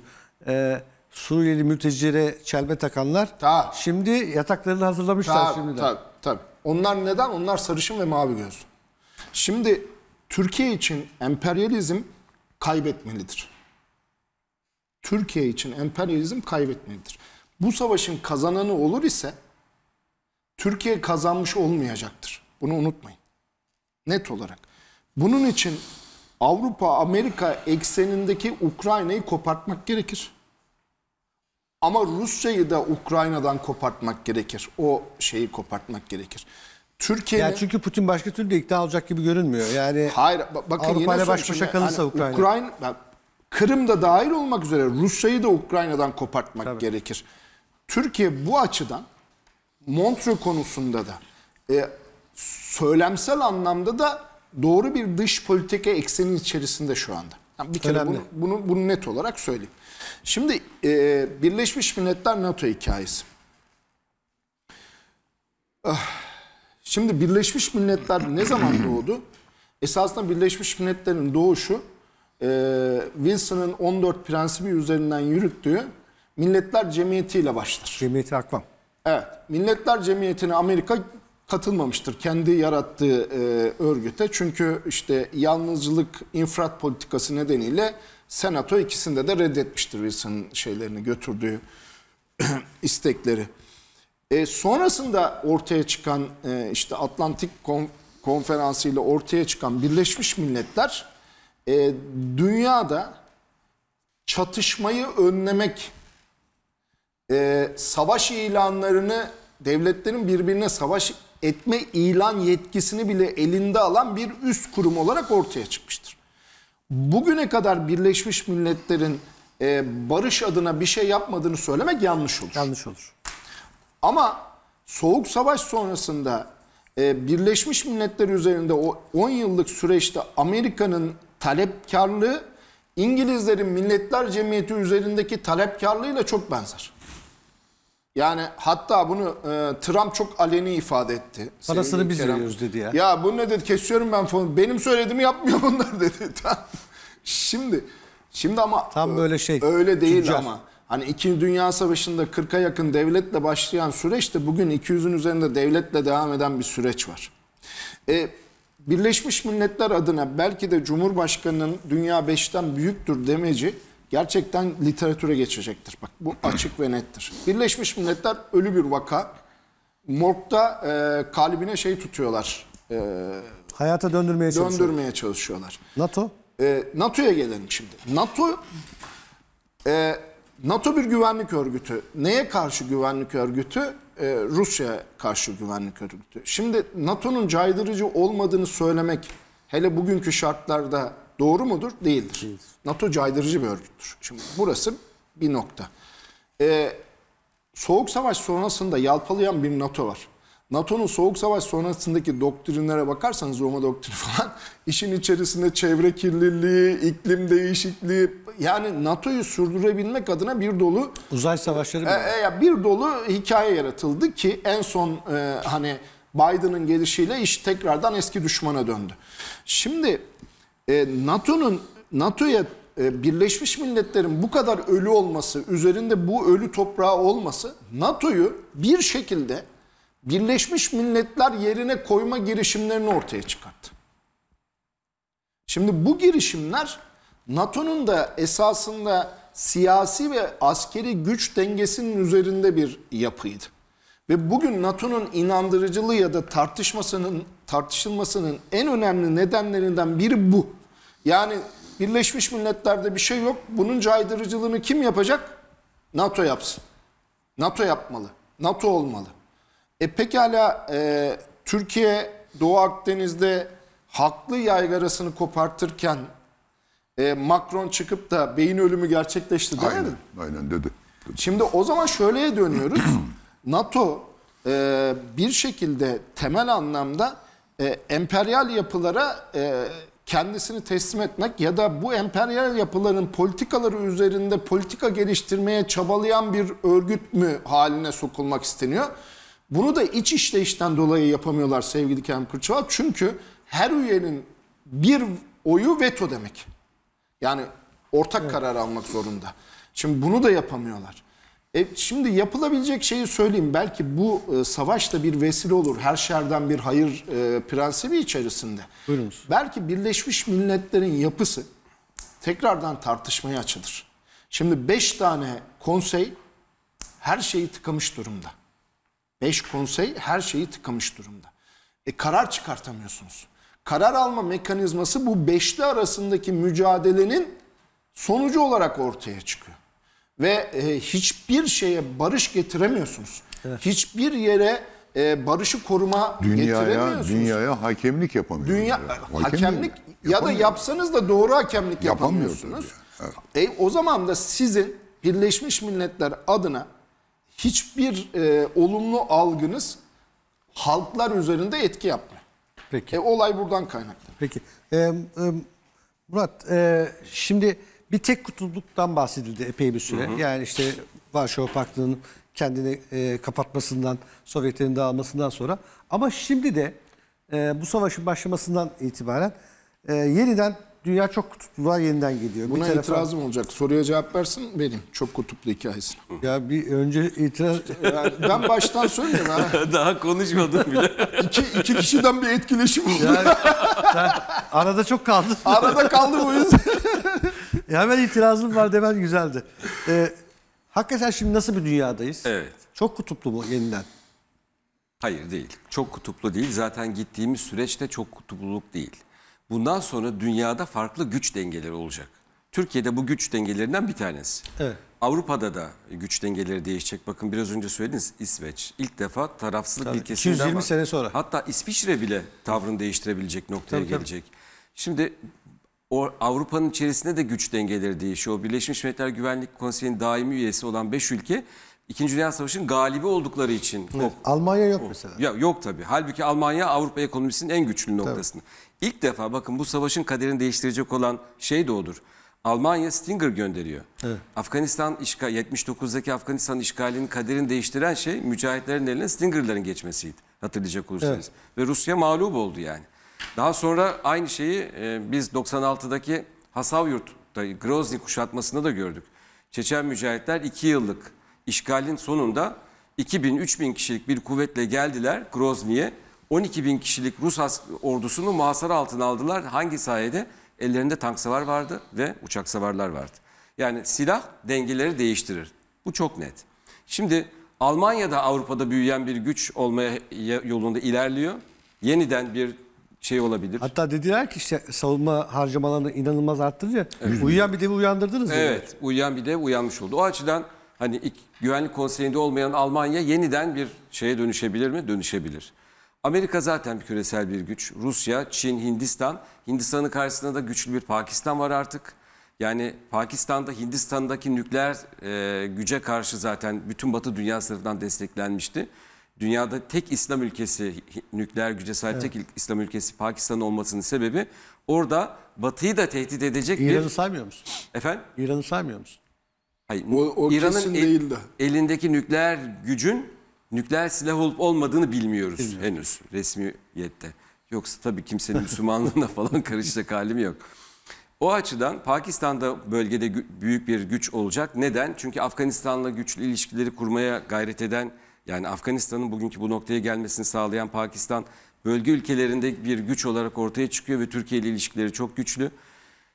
Afrika'da da Nijerya mesela bir güç olmaya başladı. Ciddi anlamda büyük petrol geliri olan bir ülke. Çok kısa süre 10 yıl içerisinde çok kalkınmış. Gayri saat milli artmış bir ülke. Altın mad- maden kaynakları çok güçlü ve bağımsızlaşma yolunda ilerliyor.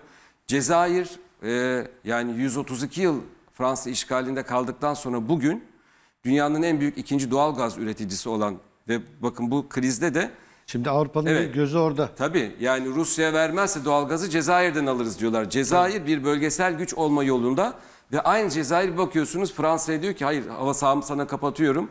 Mali'deki operasyonlarını benim üzerimden yapamazsın diyor. Şimdi üstelik 20 Mali küsür zaten haykırıyor artık defolun gidin diye. gidin diyor. Böyle Afrika'da da güç şeyleri oluşuyor ki özellikle enerji kaynaklarını elinde bul- bulunduran ülkeler bu konuda daha şanslı. O açıdan bundan sonra çok kutuplu değil, e, çok merkezli, dünyanın farklı yerlerinde çok merkezli güç e, odakları olacak ve bunlar giderek büyüyecekler. Belki de yani bundan sonra böyle 16. yüzyılda olduğu gibi büyük e, imparatorluklar çağı olmayacak belki ama bundan sonra güçlü merkezi ülkeler olacak. İşte o merkezi ülkelerden biri de Türkiye oluyor. Kendi bölgesinde hem savaşın içerisine dahil olmayan ama etrafın adeta bir savaş çemberiyle şekillenmiş bir ülke olarak özellikle de savunma sanayisine yapmış olduğu büyük yatırımlarla bir, bir şey söyleyip öyle bitireyim. Neden bahsediyoruz mesela? Türkiye ilk defa bu İHA'lar SİHA'lardan sonra bu sene içerisinde bir uçak gemisi uçak gemisi demeyelim 232 metre uzunluğunda ama İspanya'daki uçak gemisiyle aynı zaten İspanyollarla beraber yapıyoruz. Dünyada sanırım 5 ya da 6 tane uçak gemisi olan ülke var. Onlardan biri olacağız biz. Yani SİHA'ların, İHA'ları indirebileceğimiz helikopter pisti olan bir e, Platforma sahip olacağız. bir platforma sahip bir nevi uçak gemisi diyelim olan 5-6 ülkeden birisi olacak dünya üzerinde. Bu bile Türkiye'de savunma sanayinin hangi noktaya geldiğini göstermesi açısından çok önemli. Şu Ukrayna Savaşı'nda bile e, Türkiye'nin satmış olduğu TB2'ler Rus ordusunu gerçekten perişan etti ve hem Batı dünyası hem de Ukrayna yönetimi ısrarla bu silahları almış olmaktan dolayı ne kadar mutlu olduğunu söyleyip Türkiye'ye teşekkür ediyor. Peki Hocam çok merak ediyorum neyine itiraz edeceksiniz şimdi? Yok buna itiraz etmişim. Senin çok kutuplu cümlene itiraz Peki, ettim. buyurun. Ee, dünya çok merkezli bir yapıya E, aynı şeyi söyleyecekmişiz yani. Ee, Aynen. merkezler içerisinde Maalesef ekonomik Murat'la aynı fikirdeyim bu konuda. Niye Yok maalesef? ya maalesef Hayır, deme. Murat, Murat demeden ben söyleyeyim ya. Maalesef. Yok ya ben seninle aynı fikirde olduğum için çok mutlu olurum. Niye öyle yapayım yani? bu buyurun hocam. çok merkezli bir yapı var. Ekonomik merkezler var. Çatışma notları var. Ben biliyorum şimdi birazdan. Ekonomik merkezler bir bitireyim. Ekonomik merkezler var. Askeri merkezler var, siyasi merkezler var. Ve bu merkezler bölgeselciliği çok daha ön plana çıkartıyor. Ee, bölgesel örgütleri demin hani konuştuğumuz Birleşmiş Milletler'den e, etkisizliğinden dolayı da bu yürüyor. Bölgesel örgütleri çok daha fazla ön plana çıkartıyor. Ama bu mer- çok merkezliliğin, e, çok kutupluktan en temel farkı bölgesel sorunlarda e, küresel güçlerin, emperyal güçlerin bölgenin sorunlarında bölge ülkelerinin gerisinde kalmasını sağlıyor. Belki de Türk dış politikasının son dönemde Amerika, Avrupa tarafından bu kadar tartışılır hale getirilmesinin nedeni de bu çok merkezlilik ve bölgesel sorunlarda bölge güçlerinin etkisinin artmasından kaynaklanıyor. Bir de kutup dediğiniz anda bir hegemonik e, güç ortaya çıkması gerekiyor ve bu hegemon gücün de kendi altında oluşturduğu e, ülkeler grubuna e, siyasi ve askeri anlamda etkin olması gerekiyor. Bugün dünyamızda bir hegemon güç yok. Peki onu- Hegemonik yapı yok. Onu söyleyecektim işte. Şimdi işgalci bir Rusya var. Evet. Yani bağımsız bir ülkeyi işgal eden bir Rusya var. Kesinlikle tasvip edilmez. Rusya sorgulanıyor. Amerika yeterince sorgulanıyor mu? Ben Amerika Amerika'da yeterince sorgulanıyor. Bakın çok açık bir şey. Ee, insanlık öldü diyorlar Ukrayna'da. Ya insanlık zaten Doğu Türkistan'da ölü. Yemen'de ölü. Irak'ta ta 90'dan beri ölü. Suriye'de ölü. Ölü de ölü yani insanlık. Libya'da öldü, Bosna'da öldü, Hocalı'da öldü. İnsanlık bunların bir, bir, bir büyük kısmında Batı var, bir kısmında Rusya var, bir kısmında Çin var. Amerika- O yüzden diyorum ki Amerika'da var. Batı'dan kastım Avrupa Avrupa ve Amerika. Yani ben de diyorum ki e, bu çok merkezli yapıyı gerçekten iyi kullanıp doğru politikalarla Ankara'dan bakmak bize kazandıracaktır. Bu kadar açık falan. Hangi ideolojide olursanız olun yani. Bunu söylediğiniz müddetçe herkes herkes bir şekilde beraber olur yani. Bunu söylediğiniz müddetçe. Ama çıkıp ya Amerika kötü, Rusya iyi, öbür tarafta Rusya kötü, Amerika iyi, öbür tarafta Çin hepsinden daha iyi derseniz o zaman hani Onu diyen de var biliyorsunuz. e var var biliyorum. Beni çok sevmezler o yüzden hani biliyorum yani. Bir cümle söyleyeyim öyle geçin Beren Bey. Çatışma ona da. Yok ona da belki... Yeni konu- bir sataşmaya mahal vermez. Yok sat- zaten onu da belki açmak isteyebilir. Bence bakın mesela Cihat Paşa, Yaycı Paşa da Montreux ile alakalı meselede en önemli insanlardan birisi Türkiye'de akademik anlamda. O da bu sözleşme de 20 yıllık bir sözleşme. Yani şunu unutmayalım. Lozan'da, Montreux'de eğer bizim lehimize olacaksa yani bugünkü değişen konjonktürde biz daha da lehimize bir takım gerçek değişiklikler yapma ihtimalimiz varsa yani bu mevcut durumdan daha iyi olacaksa o zaman tartışabiliriz. Eğer öyle bir gücümüz varsa ama ben bugün bu- o güçte olmadığımızı buna, buna, düşünüyorum. buna büyük itiraz O, var. o yok it- Neden itiraz edeceğim? tartışılmaz bir şey demiyorum. Hiçbir Ama tartışmaya açıyorsun. Ha, hiçbir şey ilahi nihaye değildir. Ama bugün, bugün Montreux'de, Lozan'da değiştirebilecek, kendi lehimize daha fazla değiştirebilecek bir gücümüz yok. Ortam da yok. Ortam yok. Olu- olursa, olduğunda biz bir ciddi bir küresel güç haline gelirsek O zaman Lozan da Ama atarsınız. işte Adalar da o bizim kadar olsun. tehlikeli sular Batı ki. Trakya da bizim olsun. Keşke diyebilecek olsak yani. O güce gelirse kaçalım. Şimdi bakın bir şey söyleyeceğim. Ha, Ben hakkınızı koruyacağım. Şimdi şimdi son söylediğin çok doğru sevgili Murat. Yani siz bir güçseniz ve bunu kendi e, isteğiniz çerçevesinde değiştirmeye yetkinseniz evet. Evet. Ama böyle bir şey olmayacak. Olmayacak. Yani şu Bunu- koşullarda da şu bizim bu koşullarda- tersine Bunu, aşmamız bunu Doğru sağlayabilecek yapı örnek mi almak istiyorsanız? Mustafa Kemal Atatürk'ün 37 öncesindeki uluslararası ortamı nasıl kullandığını ve Montreux'u nasıl imzalattığını görmeniz gerekir. Her ne kadar kendi öldükten sonra Hatay bu ülkenin topraklarına katılsa da Mustafa Kemal Atatürk'ün Hatay'a yönelik politikasının ne olduğunu çok iyi analiz etmeniz lazım. Yani evet Tabii en az 5 yıllık çalışma Mon- yapmış Mon- Hatay'da. Montreux'un, Montreux'un, Lozan'ın siz uluslararası anlamda kesinlikle bırakın uluslararası ulus içinde de tartışmasın şu anda mevzu bahis bile yapmamanız lazım. çok tehlikeli sular bence de. Ee, buyurunuz. Şimdi arkadaşlar, evet arkadaşlarımızın söylediklerinin doğru tarafı, samimi tarafı ve bizim de öğrendiğimiz bilgi tarafları var. Fakat bir şey e, atlıyoruz. Trump dönemindeki NATO, Biden dönemindeki NATO değil. Geldiğinde Amerika'nın tekrar bir güç olacağını ve NATO'nun da dirileceğini söyledi. Yani burada bunu sadece iyi okumuş olsaydı Putin, iyi okumuş olsaydı belki bu e, Ukrayna meselesini bu kadar şahin, bu kadar aceleci ve bu kadar e, yanlış bir jeopolitik okumayla işin içine girmezdi. ABD NATO'yu güçlendirmek istiyor ve alabildiğine. Ve bugün görüyoruz ki bu hadiseden sonra yani Ukrayna meselesinden sonra veya şöyle de söyleyebiliriz.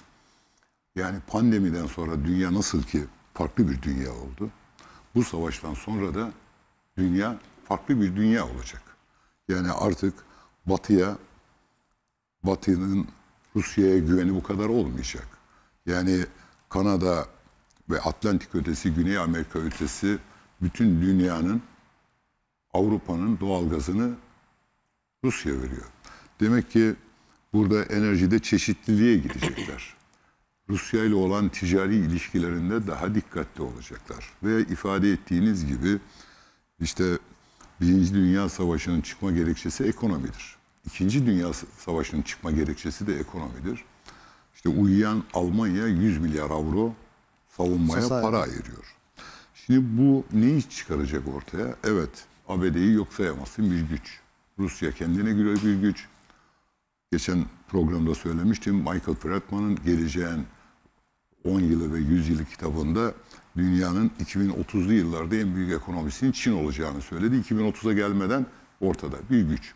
Şimdi bir dünyada bu anlamda yine var olan küresel güçler olacak ama merkezi güçler de var. Olacaktır burada. Biraz önce söylediğimiz evet Rusya dövülecek bir adam değil ama Cezayir dövülecek adam. Bugün altını çizerek söylüyorum. 3-5 yıla kalmaz Cezayir kaynamaya başlar. Çünkü Cezayir'in doğalgazını kullanacaklar. Ki şimdi çok daha kıymetli olduk. Daha kıymetli oldu. Şimdi bunları doğru okuyalım. Biz burada Türkiye olarak kendi durumumuza baktığımızda gerçekten Bağımsız bir vatanın ne kadar önemli olduğunu çok tabii ki canım. Ya ben bunu yaşamışım. örnekleri 12, görüyoruz. 12 Eylül'de biz kaçtığımızda Fransa'da gökyüzüne bakıp ağlamışım ben. Bu gökyüzü beni tanımıyor diye. Şimdi burada kalayla ağ tepsilerinde beslenip bugün millilik, irilik satanların bizim neler çektiğimizden haberi olmaz. Onlar bilmezler bu işleri. Onlar sadece hamasetin üzerinden bir yolculuk yaparlar. Şimdi burada söylediğinizin veya söylemeye çalıştığınız Türkiye'yi evet kendi jeopolitik durumu ve birikimi yıllardan var olan birikimiyle burada Türkiye bir merkez hükümet olabilir. Merkez bir devlet düzeltiyorum olabilir. Olmalıdır da bunu hak eder. Neden dolayı hak eder? Bakın şöyle pergeli koyun Ankara'ya şöyle bir çevirin. Çevirdiğinizde e, uzak Asya ve Atlantik ötesinde her tarafa 4 saate uçuyorum ben. Yani yani bu bölgenin Balkanların, Kuzey Afrika'nın, e, efendim Asya'nın ya Orta Doğu'nun vesaire buraların lojistik merkezi olabilirsin. Ama biz bunu yapabilmemiz için akla ve bilime, eğitime önem vermemiz gerekiyor. Ben tabii ki şeref duyuyorum. Neden? 1974 yılında Kıbrıs Barış Harekatı'nda ambargoyu kurmasaydılar bugün İHA'lar ve SİHA'lar yapılır hale gelmezdi. Aselsan, Havelsan, Milyen, Roketsan.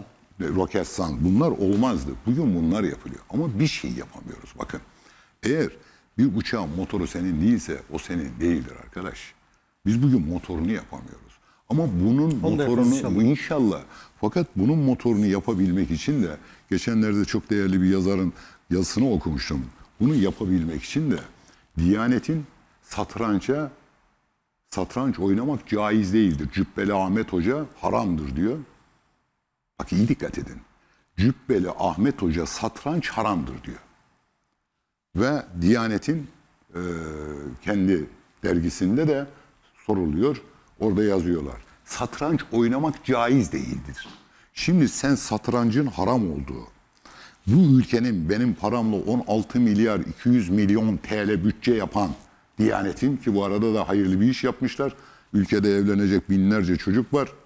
7 tane tır, tır düğün erzağını, çeyiz erzağını Konya'dan Urfa'ya götürmüşler. Suriyeli kızlarımızı evlendirecekler. Diyanet'in işleri bu bu ya. Diyanet'in işi bu. Ya hayırlı bir iş işte. Hayırlı bir iş. Allah hayırlı uğurlu etsin. Neyse bunu da bilelim. Şimdi sen satranç oynatamıyorsan, analitik düşünceyi geliştiremiyorsan, Rusya'da politbüroya seçilebilmek için, iyi dikkat edin, politbüroya seçilebilmek için ders notları gibi satrançta başarısı aranırdı. Cumhuriyet kurulduğunda ben Fatih Halk Evi'nde öğrenmişim satranç oynamayı. Halk düşünebilmek, o piyonu, fili, şahı doğru. E şimdi sen bilimi yok sayarsan, satranç caiz değil dersen, bu kara cahil hocaların eline dini, imanı, diyaneti bırakırsan sen motor yapamazsın. Yarın Ukrayna ile papaz olsan ben motoru vermiyorum dediği an benim İHA'larım, SİHA'larım maket olarak kalır. Ne gibi beyefendi? Ne gibi bitiriyorum. Sakarya'daki tank palet fabrikası çalmadığımız kapı kalmadı. Hala bir motor bulup Altay tankını yürütemiyoruz. Aklı ve bilimi ön planda tutarsa Türkiye'nin önü açıktır. Türkiye'nin yani Türkiye'nin önü şöyle açıktır. Bu ülkede Yazgan Hoca katılacak. Bu ülkede Nas diyeceksin. Bakara ayet 275 diyeceksin. Sonra Londra'da gidip dolar bazında yüzde yedi buçuk faizle borçlanıyorsan takdirini izleyicilere bırakıyorum. Peki. Ben de buna e, oyun bitince şahta piyanda aynı kutuya konur, Konur. sözüyle Harika bir soru. eşlik Doğru. etmiş olayım. Putin'i ne keser Kutay Hocam? Yani Putin ne geri adım attırır? Burada daha önce yapılan yorumlarda şöyle bir cümle çıkmıştı. Putin'i ancak bir başka Putin durdurabilir. yani Putin oradaki Yok, mesela bir başka- yönetimi değiştirse bir, bir, bir başka Putin bir başka Putin e, sıkıntı olur. bir başka Putin sıkıntı olur ama şöyle bir şey var. bir cümle virgül koyalım. Araya Ege Hoca, Ege, Ege Hoca e, Evet, bağlanmış. tamam, Ege, Ege Hoca'nın Hoca. da e, dersleri var. Ege Hoca'yı yakalamak kolay değil. Profesör Doktor Ege Yazgan İstanbul Bilgi Üniversitesi'nden. E, hoş geldin Ege. Hoş bulduk Kerem. İyi yayınlar. Teşekkürler. Özledik vallahi. Epeydir de Evet. yayın yapamıyoruz.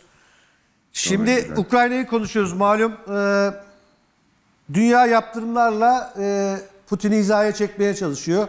E, işte ruble çöktü. E, faizler fırladı Rusya'da.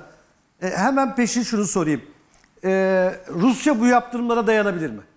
Bu yaptırımlar bu savaşı durdurabilir mi? Ee, evet güzel soru tabii. Rusya'yı bu yaptırımlar son derece ekonomik olarak zor duruma sokacağı kesin. Ee, ama tabii bu e, Rusya'yı gerçekten oradan geri çekilme hamlesine sokabilecek kadar ekonomik bir bunalıma, buhrana sokabileceği e, konusunda bir şey söylemek zor. Ben pek zannetmiyorum. Yani şimdi Putin böyle bir hamle yaptıktan sonra artık e, geri dönüşsüz bir hamle olduğunu düşünüyorum. Orada kalmak için, geri çekilmemek için ya da elinden geleni yapacaktır. Dolayısıyla buradan gelecek olan ekonomik e, yıkıma da e, elinden geldiğince dayanmaya çalışacaktır. Bu arada şunu da söylemek lazım tabii şu anda evet Rus ekonomisi gerçekten bunlar bu yaptırımlarla zor duruma gi- girecek gibi görünüyor tabii ki. Ama e, e, yani e, Rusya'nın bu arada e, eğer tabii mal satmaya devam edebilirse e, dünyada enerji fiyatları da yükselmeye devam ediyor. Yani bir anlamda da e, enerji açısından da e, hani o satacağı enerji açısından satabilirse eğer e, o e, kendini e, daha avantajlı duruma e, geçirmiş durumda bunun sonucunda ama tabii e, yani e, buradan ciddi bir darbe ekonomi ciddi bir darbe yiyecek. Yedi zaten bunun sonucunda daha önce 99'da da olmuştu. Rusya bir moratori- moratoriuma doğru gitmişti. Yani e, borçlarını ödeyemez duruma gelmişti. Oralara kadar gider mi ekonomi? E, ve onun sonunda e, ne olur? E, ama benim tahminim yani Putin tabii ki böyle bir hamleyi yaptıktan sonra geri dönmemek için elinden gelen bütün her şeyi e, yapacaktır ve dolayısıyla buradan gelecek olan ekonomik e, e, baskılarda diyelim ki önlemlerde onu e, zorlamasına rağmen bunlara da sonuna kadar direneceğini düşünüyorum. Öyle e, Peki. bir böyle söyleyeyim. Evet, teşekkür. Ee, yani e, bu e, Rus bankalarının mal varlıklarına el konulması, uluslararası Evet. ticaretten e, çıkarılması. Bunun karşılığında da hani Putin'in de dün aldığı kararlar var. Yabancılara e, döviz e, gönderilmesi yasaklandı. E, Yabancı yatırımcıya para verilmesi yasaklandı. Ya bu savaş nereye varır? Ekonomik anlamda dünyada. Ya bunun bu bu zaten daha önce de mesela hani bunun benzerlerini bu tür yaptırımların benzerlerini işte İran'da görmüştük İran'ın örneğinde. Ee, ona benzer bir biçimde tabii bunu delmek için Rusya alternatif yollar arayacaktır. İşte diyelim ki e, Swift'le Rus bankaları üzerinden ödemeler yapılması engelleniyor. Bu ciddi bir şey çünkü Rusya'nın ticaretini kesmek için e, ödeme kanallarını e, Onu tam anlayacağımız şekilde anlatır mısın? Ne anlama geliyor o? Ya yani şöyle tabii mesela şimdi biz diyelim ki dünyada bir yerde ticaret yapmaya çalışsak e, Türk bankaları üzerinden ödemelerimizi yapacağız. Yani ihracat yapacak olsak e, işte a- a- alım alacağımız parayı bir Türk bankası üzerinden alacağız. Veya e, yurt dışından bir mal alacak olsak ödememizi alacağımız malın ödemesini bir Türk bankası üzerinden yapacağız. Bu da SWIFT denilen bir sistemle uluslararası bankalar arasında yapılıyor. Eğer siz o sisteme dahil değilseniz tabii çünkü buradan sizin Türk Türkiye bir banka gönderdiği zaman yabancı bir bankayla anlaşarak yapıyor. O da ancak böyle bir sisteme dahil olmasının sayesinde olabiliyor. Dolayısıyla eğer Rusya'yı bu Rus bankaları bu sistemden çıkarılırsa o zaman Rusya'da yurt dışıyla alışveriş yap- yapacak olan şirketler, bireylerin bunu yapabileceği bir kanal kaldı. Dolayısıyla ne yapmak zorunda? İşte ancak yani o, o ödemeyi elden falan yapması lazım ki böyle bir şeyin söz konusu olamayacağına göre bu şekilde ticaretin Rusya ticaretin dışına çıkarılmış oluyor. Yani bir finansal bir önlemle sadece yaptırım değil hani siz Rusya ile ita- e, ithalat ihracat yapamazsınız diye bütün dünyadaki işte Amerikan şirketleri, Avrupalı şirketler veya tabii başka ülkelerin şirketleri sadece bir böyle bir baskı e, yapamazsınız dolayısıyla değil de aynı zamanda pratik olarak da bunu ödemeyi yapamama kanalıyla Rusya'yı tica- dünya ticaretinin dışına atmış oluyor. Dolayısıyla Rusya'nın işte yurt dışına satacağı malları veya yurt dışından alacağı malları engellemiş oluyor. E, bu başka alternatif yol bulunabilir mi? Yani mesela başka kripto currency'lerle ödemeler de yapılabilir böyle şeyler mümkün olabilir. Alternatif yollar gündeme getirilebilir ama bunlar tabii ki e, sınırlı olacaktır. Ya da işte bu e, İran'da hatırlıyoruz ambargoyu delmek için işte başka e, ülkelerin devreye girmesi söz konusu olabiliyordu. E, aynı ödemelerle ülkeler düzeyinde anlaşmalar ama bunlar tabii ki yeterli olmayacak Rusya için. Yani Rusya dolayısıyla dünya ticaretinden bu şekilde dışlanmış oluyor e, büyük bir ölçüde. Ama e, e, işte tabii ki e, yine de belli bir ölçüde bir alternatif e, bu, bu, bu durumu kurabilecek bir önlemler gündeme getirilecektir. Fakat etkileri yani Rusya açısından baktığımız zaman burada esas bu ekonomik etkilere Rusya dayanmaya, eninde sonunda dayanmaya çalışacaktır. Ben şey yapmıyorum, bir, yani Putin'in sonuç itibariyle ekonomi şöyle bu kadar kötü duruma gidiyor deyip tabii ki ekstra üzerine buradan bir yük gelecek ama o tık Putin için bence e, bir e, ölüm kalım savaşı gibi e, yorumlanabilecek bir şey. Dolayısıyla orada sonuna kadar e, her türlü ekonomik önleme direnerek sonuna kadar bunu e, sürdürmeye çalışacaktır. Ama Rusya ekonomisi de tabii bu arada e, e, zorlanacak elbet. Yani bunu ama mesela 99 kadar kötü bir duruma doğru gider mi ekonomi oradan? Çünkü o zamanlarda e, e, e, petrol fiyatları da aşağı gitmişti Amerika'nın hatırlarsanız. Dolayısıyla şimdi burada öyle bir durum yok. Eğer Rusya petrolünü ve doğalgazını satabilirse bunu yüksek bir fiyattan satabilmiş olacak.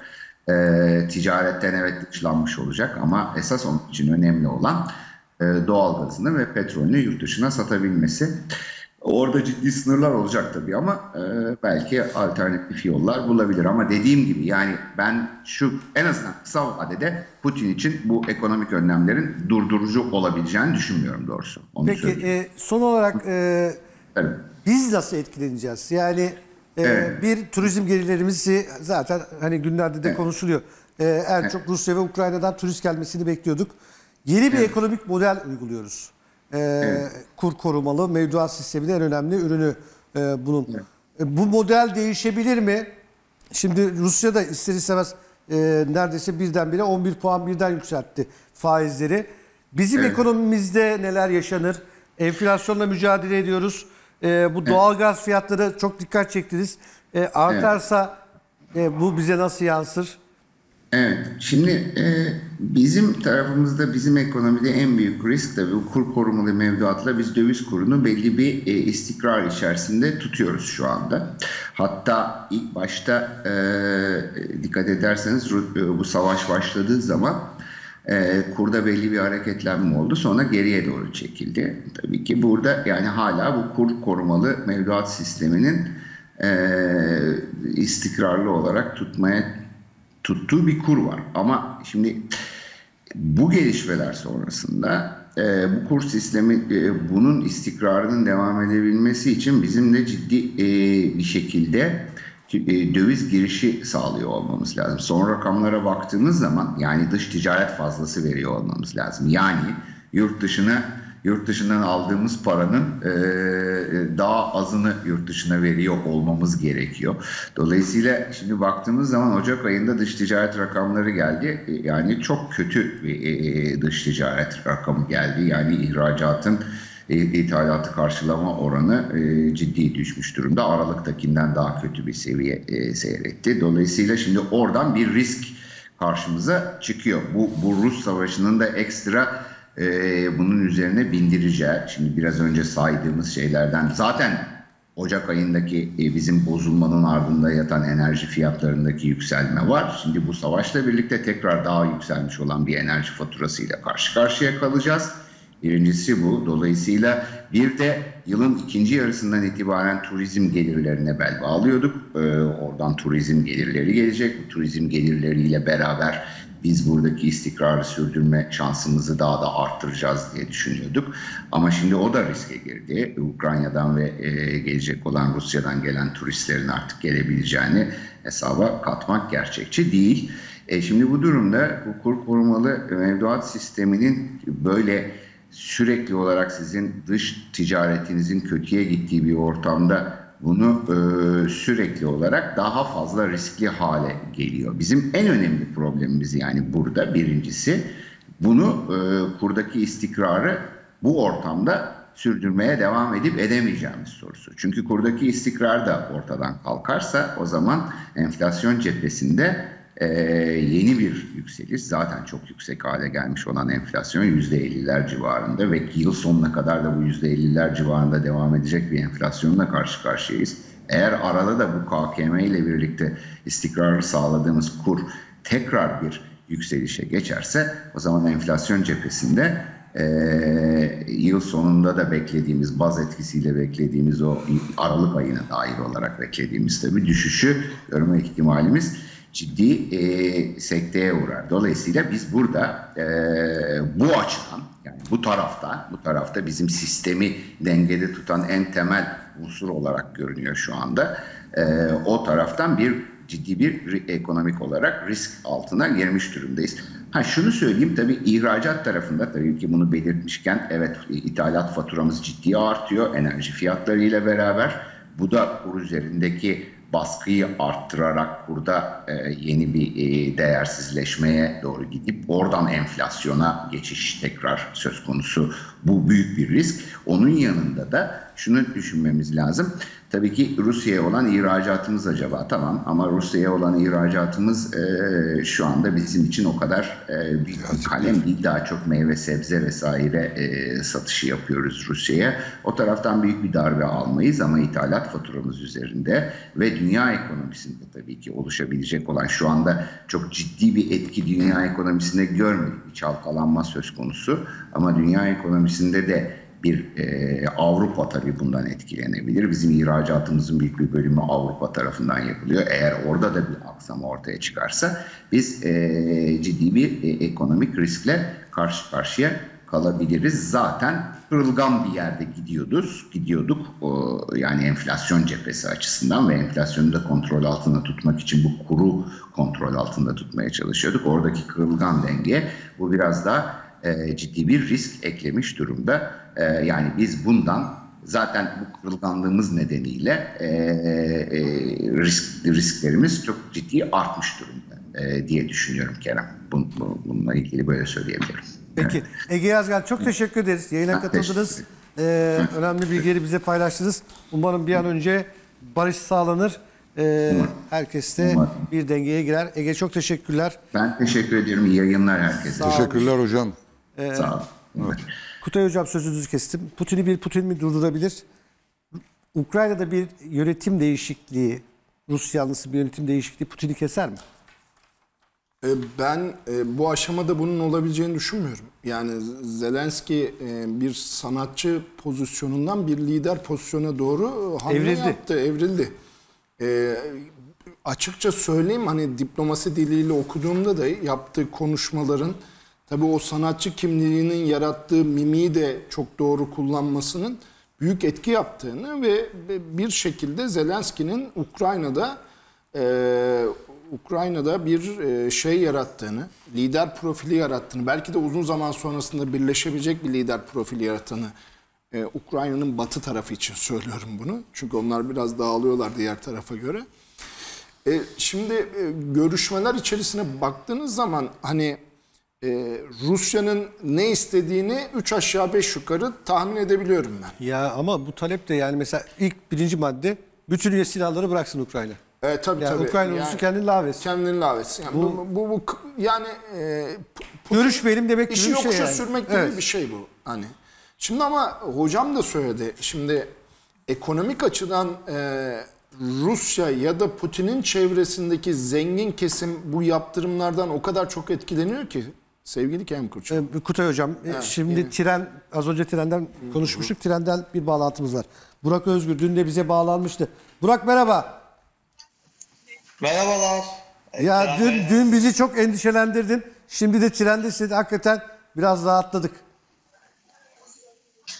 Kerem Bey dün gerçekten bizim için çok kötüydü zaten yayında. Ee, ben e, o patlamadan sonra arkadaşlarımla karar aldım. Hemen yurdu terk etmeye karar verdik. Tren istasyonuna gidecektik.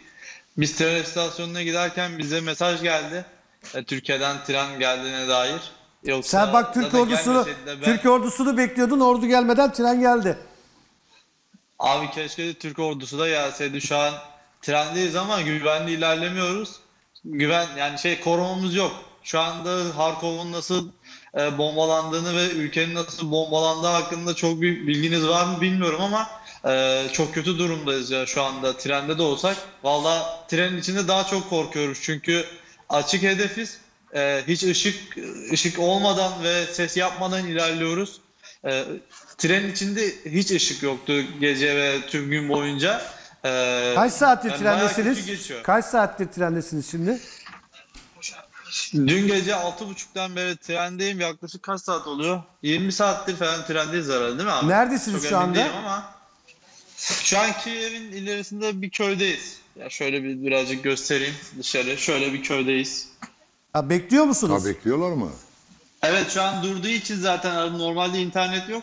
Şu an insanlar aşağıda e, bir market var. Oranın sırasındalar. Siz göremiyorsunuz da ben görüyorum. Kar yağıyor şu anda. Burada bir köyün yanında bekliyoruz şu anda. Çünkü e, Ne- yol güzergahında Ne kadar süredir bekliyorsunuz? daha yeni durduk. Şimdi durduk. Yani ikmal için herhalde bekliyorsunuz değil mi? Yok yol güzergahında bombalamalar oluyor. Şu an Rusya dediğim gibi e, çok seri bir şekilde herhalde bu işin artık uzamasını istemiyor ve Ukrayna'yı tamamen almak istiyor diye düşünüyorum. Uzadıkça biliyorsunuz ki Rusya'ya ve e, dış dünyaya Rusya'nın e, kimliği kötü gözüküyor. E, Putin bu tür şeyleri herhalde planlamadığı bir şekilde Ukrayna'nın direnişiyle karşı karşıya. İnşallah Ukrayna yenilmeyecek. Ben her zaman Ukrayna'nın yanındayım. Zelenski e, Cumhurbaşkanı ee, belki geçmişte hatalar yapmış olabilir, birilerine güvenmiş olabilir ama umarım o da bu savaştan sağ çıkacak. Peki yani 20 saattir yoldasınız. Yolda neler yaşadınız? Yani çatışmalara tanık oldunuz mu? Abi diyeceğim Yiyecek artık. içecek var mı? Ke- Yiyecek içecek. Kerem İstediğin abi, gibi hitap e, edebilirsin, rahat ol. gerçekten- Kerem abi e, çatışmalara tanık olmadık sadece bomba sesleri duyuyoruz. Çünkü Yiyecek içecek hiçbir var şey mı? göremeyiz. E, trenin tüm perdeleri normalde kapalı ama biz şu an köy bölgesine geldiğimiz için e, kendi isteğimizle a- açtık. E, dediğim gibi yaklaşık 20 saattir herhangi bir şey görmeden ve karanlık bir şekilde ilerliyoruz durarak. Yak, e, Kiev'e girmeden bile 3-4 saat bekledik diye e, tahmin ediyorum. E, bombalandırmalar böyle hafiflediği şekilde biz ilerliyoruz. İlerlerden e, bize bilgiler geliyor yani makiniste. O şekilde ilerliyoruz. Peki yani bir, bir şeye ihtiyacınız var mı? Gıda ihtiyacınız giderildi mi? Kerem Bey yok gıda şey Kenan abi gıda ve su ihtiyacımız giderilmedi çünkü burada üst düzey bir yetkili yok. Herkes bizim gibi vatandaş. Ee, sadece tren geldi. Ee, su, su ve yiyecek ihtiyacımız yok. Ben daha öncesinde şöyle göstereyim. Ee, bir savaş çantası yapmıştım yani kötü gün çantası. Ee, birkaç bir şey getirdim kendime.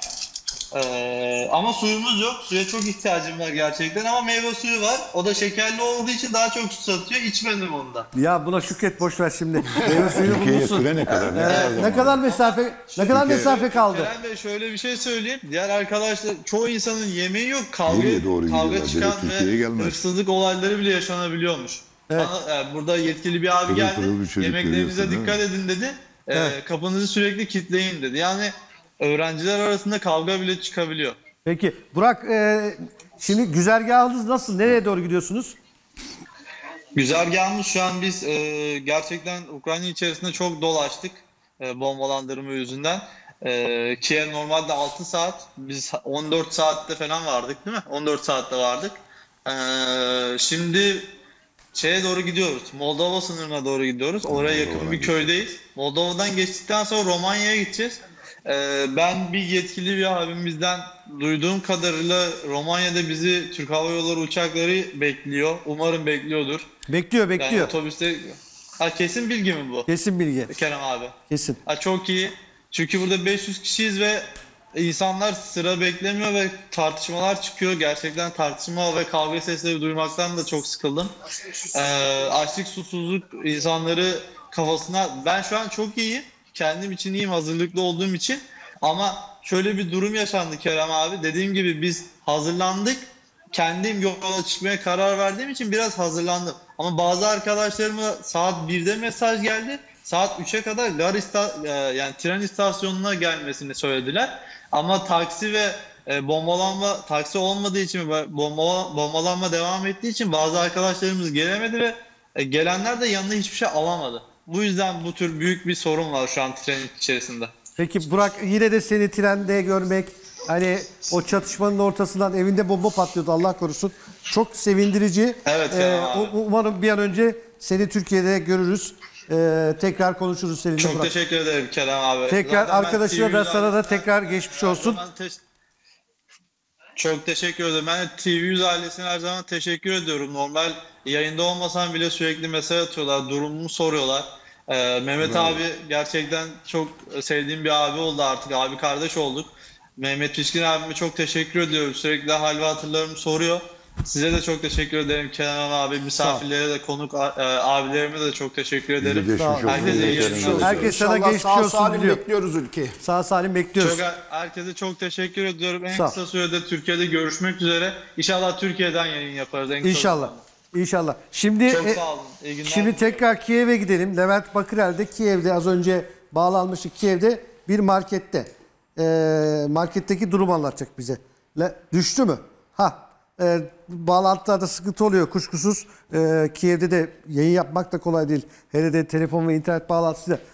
Ee, arkadaşlarım uğraşıyorlar. O da bir marketteki son durumu aktaracak. O da kendisi de ekmek almaya çalışıyordu. Sözünüzü yine kestim. Bu sefer kesmeden devam edelim. Soruyu bir daha sorayım. İkinci bir Putin çıkar mı? Putin'i Putin mi durdurabilir? Ee, Ukrayna'da bir yönetim değişikliği e, bu meseleyi bitirebilir mi? Yok ya açıklamalara baksana Kırım'ın ilhakını kabul edeceksin diyor. Ee, Silah bırakacaksın. Silah bırakacaksın diyor. Tarafsız olacaksın diyor. E, verelim Pazarlığı anahtarı. belki biraz yüksekten açıyordu da. Verelim Ukrayna'nın anahtarını.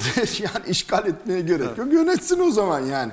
Zaten e, yani temel anlamda e, NATO'ya e, beyan ettikleri o dört maddede de olabilecek şeyler yok. Yani 97 öncesindeki tüm üyelerden silahları çekin, üyelikten çıkarttın. Yani bu şöyle bir şey var.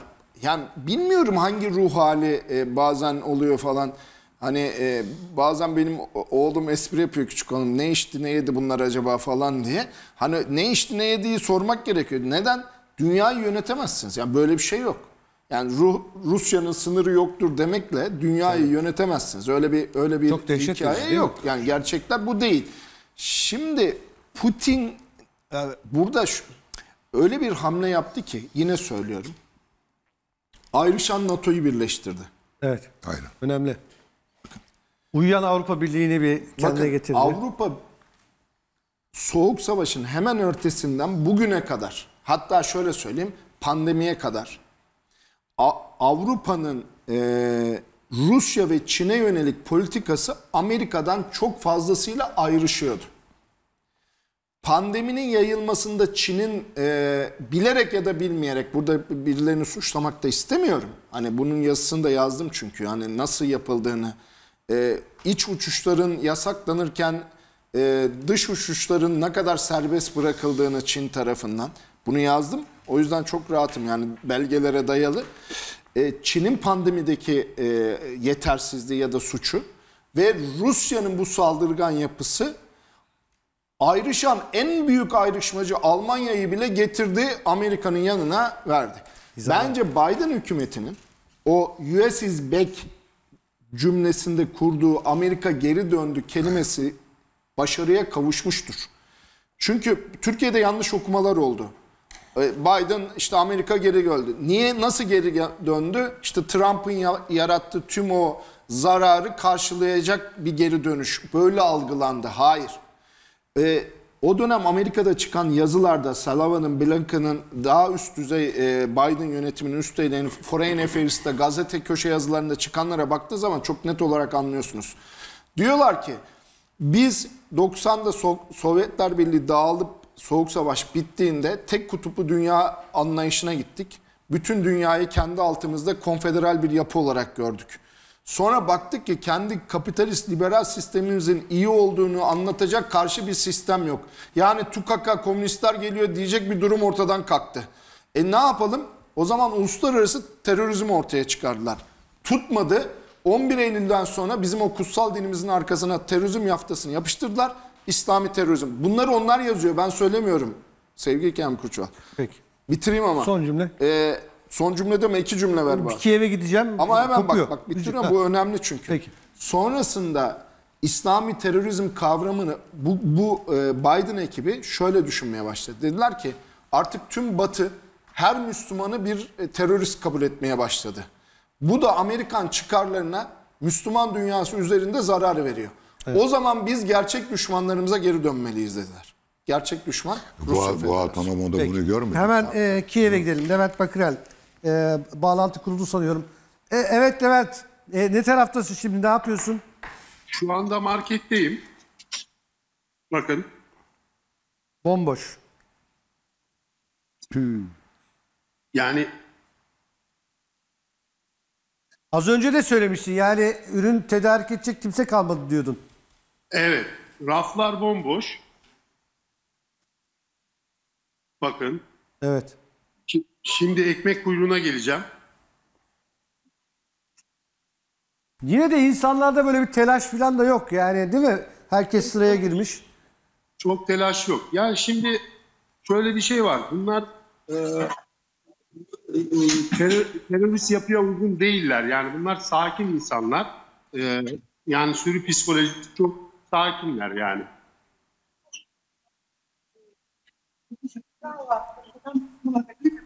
Bakın. Sürü psikolojisi de mi? Terörist. Yapıya uygun değiller. Bakın. Yani anladığımız kadarıyla e, sadece ekmek mi var bu markette? E, Sadece ekmek gibi bir şey yani. Meyve suyu yok. Bakın buralara bakın. Hiçbir şey yok şu an. Evet. Yani raflar bomboş. Okey, okey.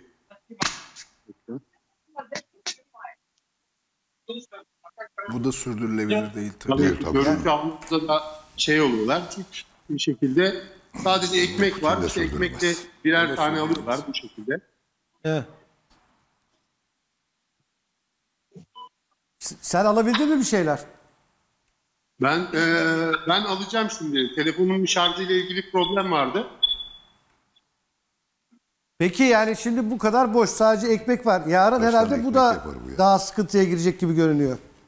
Tabii ki bu e, tabii bir sıkıntı olacak illa ki. Peki- Kiev merkezde de falan bu. Kiev'in çevresinde böyle bir şey yok. Burası Kiev'in merkezi değil mi? Tabii tabii merkezdeyim ben. Peki e, bu yardım kuruluşları, yerel yönetimler onların bir organizasyonu yok mu? Yani onlar e, ahaliye bir şey yapamıyor mu?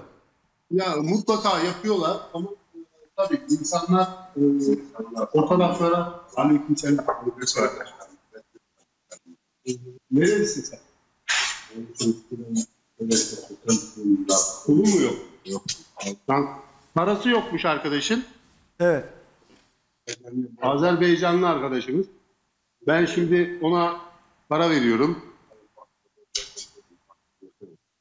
Canlı yayında neler Türkiye- yaşıyoruz ya. Vay vay. vay. Haberlerdesin şu an. Müthiş Haberlere çıkıyorsun. Buradan Türkiye'ye söylemek istediğin bir şey var mı? Ben size bir çocuk kardeşlerimizle tamam de. Hı, Tamamla. İsterim ki bu muharebe tutarsın hamımız fayda vatanımıza. Bak ona. Kim bu? Azerbaycan. Azerbaycan Azerbaycan'da. Azerbaycan vatandaşı parası yokmuş, ekmek alamamış. Şu Allah anda- senden razı olsun vallahi yani. Evet yani müthiş bu, da, ya. bu da tesadüf oldu. Hakikaten. Arkadaş. benim açımdan da inanılmaz bir yayıncılık deneyimi oluyor yani. Canlı yayında neler yaşıyoruz. Evet canlı yayında yaşıyoruz. Daha çok şey yaşayacağız. Ben tren garına gideceğim. Polonya'ya gitmek isteyenler var. Evet. Az önce de biz bir t- trene bağlandık. Ee, Kiev'i geçmişler. Ee, 20 saattir yoldalar. Ama şu anda bir köyde bekliyorlar. Ama şu anda şu anda e, ben e, onunla ilgili de bir çalışma yapacağım. Bu çalışmalarla ilgili haber kanalına videolar atacağım. Canlı Evet. da bağlanacağım. Gücümün yettiği kadar buradaki durumu e, Sen şu kendi ekmeğini bir al da bizi de endişelendirme. tamam teşekkür ederim. tamam teşekkür ediyoruz sana. Sağ olun. Ee, hakikaten çok yani Ay bu Türkiye Türkler Levent- için Levent yani Türkler için şey değil mi yani ne kadar dünya Tabii. değil mi? Her eve Yani- lazım bir Levent bu. Evet. Müthiş bir adam. Kutlarım Ya vallahi. gerçekten Helal kutluyoruz olsun. kendisini. Helal olsun. Cesaret açısından. Tabii tabii her anlamda. Şunlar sıcak görüntüler. Bombalanan e, Kiev'den gelen e, sıcak görüntüler, yeni görüntüler şunu, bunlar. Şunu da net olarak Hakikaten söyleyeyim. e, bir şey bir, bir saniye Kutay Hocam hemen vereceğim size söz. E, dün gece de alışveriş merkezlerine e, görüyorsunuz e, sivil yerleşim yerlerinin olduğu yerlerde bombalanmıştı. Bunlar da e, Kiev'den elimiz, elimize ulaşan e, son görüntüler gördüğünüz gibi işte savaşın dehşet fotoğrafları bu. Yerle bir olmuş binalar. Bu, bu görüntüler üzerinden söyleyeyim. Onu söylemek istedim. Ee, Putin'e halk direnci, Ukrayna halkının direnci arttıkça sivillere yönelik saldırılar e, Artar. şehirlerin Görüyorsunuz araba kurtarma çalışmaları da devam ediyor bir yandan. artacaktır. Sivil ölümler artacaktır. Ama bu da e, Rusya'yı daha fazla mahkum edecektir. Bunu da unutmayalım bir kenarda. Bu e, Peki- e, hocanın söylediği ekonomiyle ilgili bir şey. Geleceğim. Ee, Şu sıcak görüntüleri bir Tamam, tekrar tamam. hatırlatalım. Kiev'den gelen özellikle de sivillerin olduğu e, yerlerdeki yeni görüntüler bunlar. Bir yandan arama kurtarma çalışmaları e, devam ediyor. Yerle bir edilmiş. E, hayatını kaybetmiş vatandaşlar. Hakikaten korkunç görüntüler. Elimize ulaşan Kiev'den gelen son görüntüler bunlar. Bir cümle edecektiniz. Murat sizin de konuşsun, belki. Murat konuşsun sonra ben. Ben şey bu iş nasıl durura sormuştum.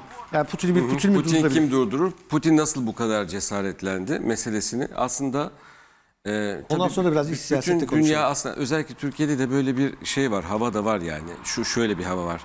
Yani Batı'nın bir anda bu kadar çok yoğun Ukrayna'ya destek olması. Mesela şimdi bir savaş ortasında bir markete girdik ama insanlar sırada market alışverişini yapıyorlar falan filan değil mi şimdi? Irak'ta böyle bir şey göremedik mesela. Suriye'de böyle bir şey göremedik. Ben Suriye'ye defalarca savaştan sonra gittim. Market falan ne gezer? Elektrik yok, su yok. Çocuklar bakın 11 yıldır naylon çadırda yaşıyor. 5 milyon insan yani. Hani şu anda insanımız bu mukayeseyi yapıyor. Siz nasıl orada yaşananları görmediniz? Hemen buradakini görüyorsunuz. Bunlar Avrupalı diye mi görüyorsunuz? Bu şeyi yani mukayesenin kendisi insani anlamda doğru bulmam ama insanların kafasındaki bu şeyi de anlayabiliyorum. Neden Rusya bu kadar cesur e, şey hareket edebildi? Putin kim cesaret verdi? Bakın 2014'te Kırım ilhak edildi. Kimse ağzını açmadı. İşte üç gözlerimizin önünde Libya'da meşru hükümet, Hafter hüküm, e, Trablus hükümetini devirmek için Hafter ayaklandı. Bir terör örgütü olarak ve bir sürü çeşitli DAEŞ benzeri bütün yapıları da peşine taktı. Rusya geldi orada Wagner ile bilmem ne her şeyle geldi Ki orada da destek verdi. buraya Evet burada da var tabii. Geldi Yani suikast timinin girdiği girdi. Şimdi bu buraya geldi. Dünya yine ona bir ses çıkarmadı. 2015 yılından beri 7 yıldır Suriye'de katliam üzerine katliam yapıyor Putin. Yani bakın Birleşmiş Milletler'in tespit ettiği rakam 217 defa kimyasal saldırı gerçekleştirmiş 7 yıl içerisinde Rusya Esed rejimiyle beraber yani ama tabii hava kuvvetleri tarafından yapıldığı için hava kuvvetleri zaten tamamıyla Rus ordusu var. Yani Laskiye'deki üslerden kalkan, Himeymim'den kalkan e, uçaklar Suriye halkının üzerine kimyasal saldırı gerçekleştirdiler. Yani orada gittiğinizde görüyorsunuz. Bakın şu anda ekrandaki görüntünün Görüntü. tamamı dehşet verici. bu dehşet verici görüntünün tamamı Suriye'nin tamamında var yani. Hani şehrin bir yerinde falan değil. Şehirler yok şu anda. Yani enkaz Musul'da şehirler yok. altından çıkarılan cesetleri görüyoruz. Evet. Şimdi bu Putin'e orada dur denilmediği için, Putin'e hiçbir yerde dur denilmediği için Putin ilerlemeye devam etti. Yani öyle zannetti ki işte gerçekten de kendisi de ifade ediyor. Ukrayna diye bir devlet yok. Zaten halkı da Rus halkı. Biz aynı dili konuşuyoruz. Oraya 48 saat içerisinde girerim dedi. Hani tanklarının yolda kalmasının sebebi o. Çünkü Kiev'e benzin almaya, mazot almaya Kiev'e uğrayacaklarını düşünüyorlardı. Ama gerçeğin böyle olmadığını gördüler. Onun için Putin'i durdurabilecek evet Batı durdurmak zorunda. Zorunda. Bunu bir Batı emperyalizmi, Doğu emperyalizmi mukayesesi yaparak işte Rusya'ya karşı olduğunuzda Amerikancı, Amerika'ya karşı böyle bir şey de kıyası da doğru değil. Bugün Putin'in durdurulması gerekiyor mu? Soru bu. Evet durdurulması gerekiyor. Niçin? Çünkü durdurulmazsa İkinci hamlesi Rusya'nın ikinci hamlesi Putin Gürcistan'a gelecek. Ve Gürcistan'a gelmesi demek e, bizimle artık sınırda güneyde nasıl komşumuz haline geldiyse kuzeyde de komşumuz olması haline gelecek. Onun için Putin'in durdurulması gerekiyor şart. Bunun batılı güçler eliyle desteklenerek yapılmasının da makul olduğunu ve bunun bütün dünya dengelerini değiştireceğini düşünüyorum. Şimdi bir, bir iki Ha, tane şey bir araya bilgi, bil- bilgi vererek devam edeyim. Lütfen. Mesela Putin Wagner'i e, sahaya sürdü. Paralı askerler, eski Evet, paralı yani hem askerler. Zelenski hem de 23 kabine üyesini Evet. suikast timi. Çeçenistan'da Kadirov rejimine bağlı milis güçler yaklaşık 3-4 bin civarında milis gücü piyas- e, sahaya sürdü. Onları getirdi. Ben onları da araştırma yaptım. Çeçenistan'da da soruşturdum. Ne kadar, e, niçin gitmiş? Bir kere Kadirov doğrudan Çeçenistan işgal altında olduğu için Kadirov çok ciddi bir şekilde tehdit ediyor. Gitmeyenleri aileleriyle birlikte tehdit ediyor. Sürmekle, öldürmekle tehdit ediyor. Ayrıca her bir kişiye de e, Putin 500 bin ruble yani 5400 dolar civarında bir şey vaat etmiş. Şimdi gidenler video çekip Çeçenistan'a gönderiyorlar. Aman gelmeyin buraya biz burada tankların içerisinde diri diri ya- yani Ukrayna çok ciddi direniyor. Burada öyle büyük vaat ettikleri gibi bir şey kazanamayacaksınız. Parayla pulla eğer buraya geliyorsunuz gelmeyin diye. Şimdi ciddi bir Çeçenistan'da da şey var. Yani bu milis güçlerle e, Ermenistan'dan da çeşitli grupları getirdiği ifade ediliyordu. Onlarla bitirebilme ihtimali yok. Berhan Bey bir şey söyleyip siz reklam arasına gireceksiniz. e, çok sıkıştırıyorlar. Ha, peki, reklama gitmem, buyurun, araya buyurun. gitmem lazım. Çok kısa bir yere gideceğiz. Sataşacaksın belli. Yok yok sataşmayacağım. Bilgi Peki, vereceğim. kesilme peki. Ee, bir bilgiyi de reklamdan sonra verelim. Aradan sonra. Çok kısa bir aramız var.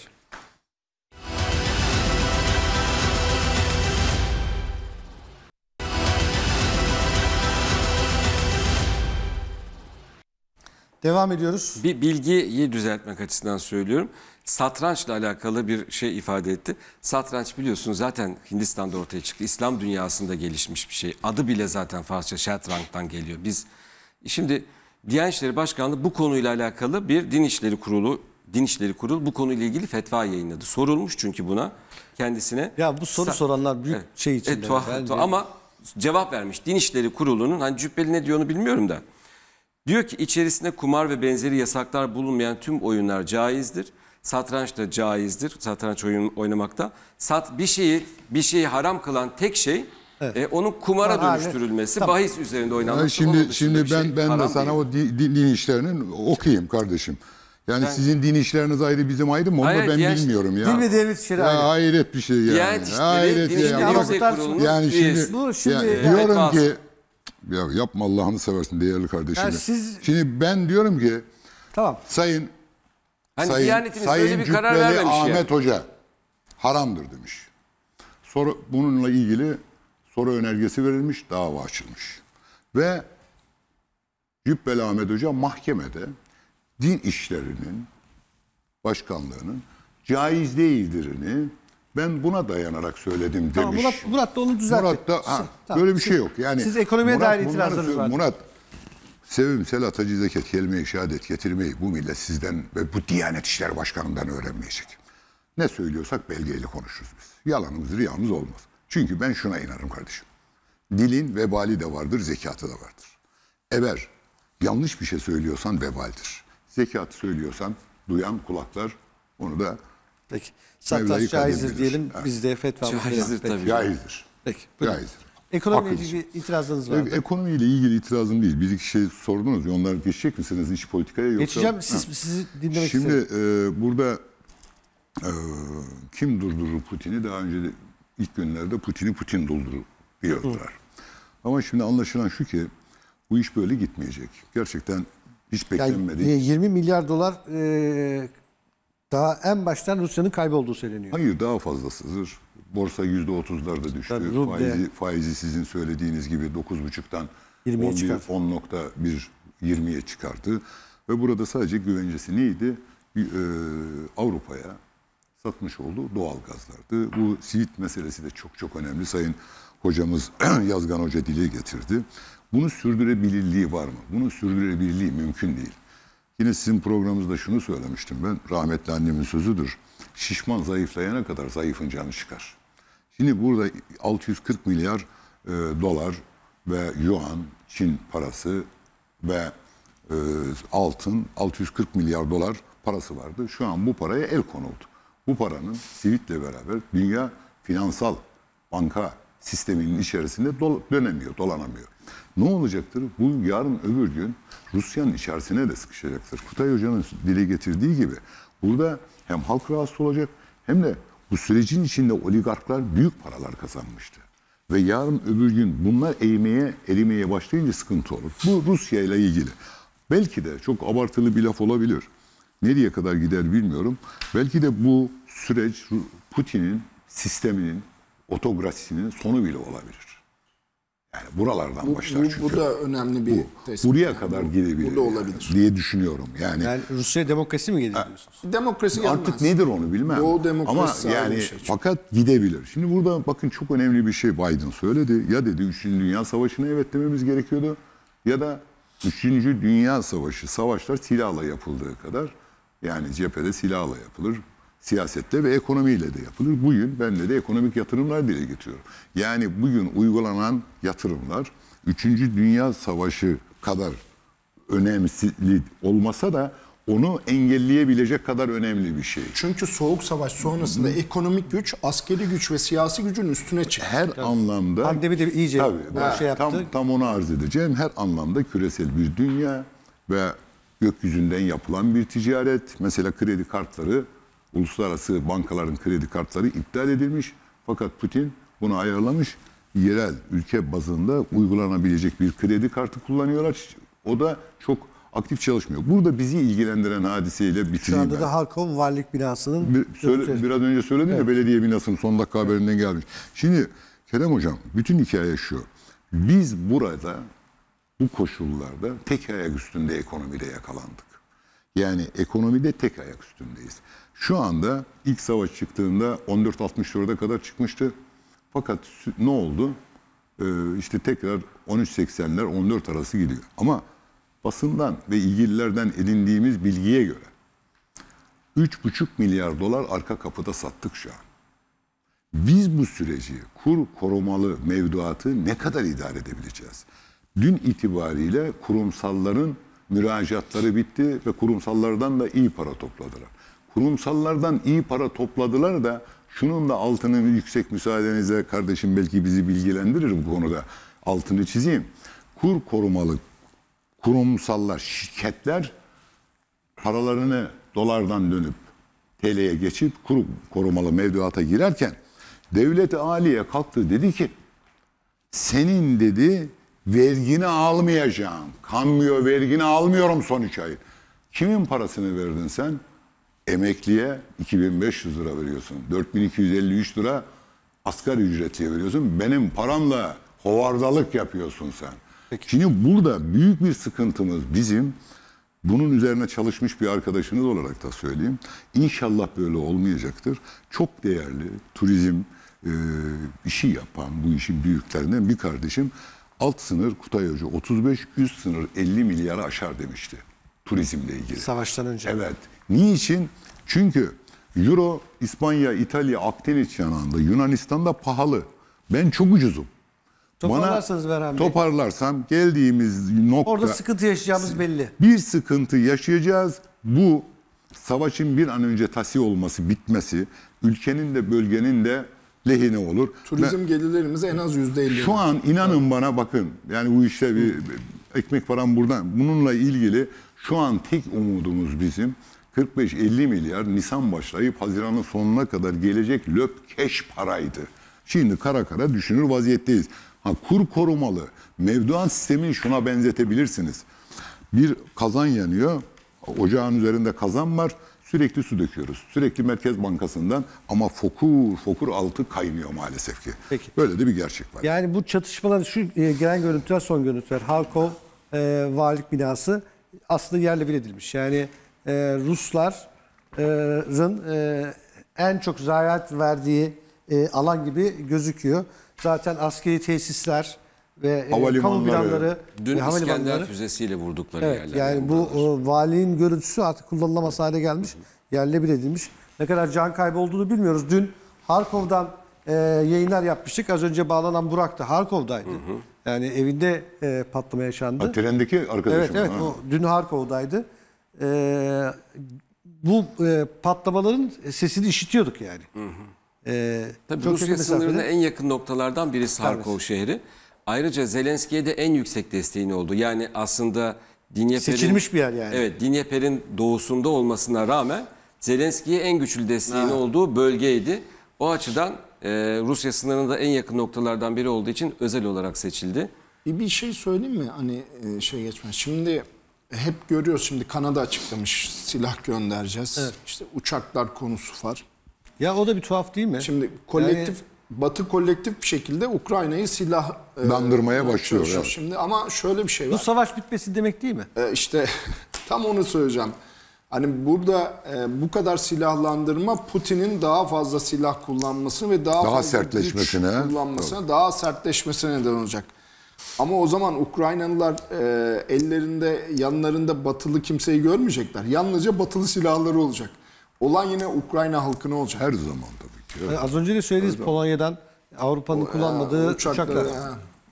Yani Yani kullanmadıkları mı yoksa hani Şu, yani şu hakikaten ben şu kadar e, şey veriyorum, maske veriyorum, şu kadar silah veriyorum, şu kadar uçak veriyorum, şu kadar mali yardım atladım. Hani e, yardımlar konusunda şu ülkenin elbette çok yardıma ihtiyacı var ama e, savaş bitmesin Tabii savaşı durdurmak istiyorlardıysa mesela bir tabur asker götürürlerdi Ukrayna-Rusya sınırına. Birleşmiş Milletler derdi ki burada böyle bir sıkıntı var. İş biterdi yani. Ha, büyük ikilem var. Ee, Yalnız Kerem Bey bir şey e, Kutay Hoca bir de şöyle bir şey yapalım. Şimdi komik bir şekilde minfer gönderiyoruz dediler. 500 tane mi 1000 Şimdi tane mi? artık tank savar Şimdi burada burada Stinger bu, bu e, şimdi şöyle bir soru sorarsak e, bir sert kayaya çarptığını an, yani izlediğimiz kadar anlıyorum ki e, bu kadarını Putin beklemiyordu. Evet. Yani pekala sert şimdi değil mi? burada soru şu. Putin'in Evet. Zelenski ve Ukraynalılar mı durduruyor?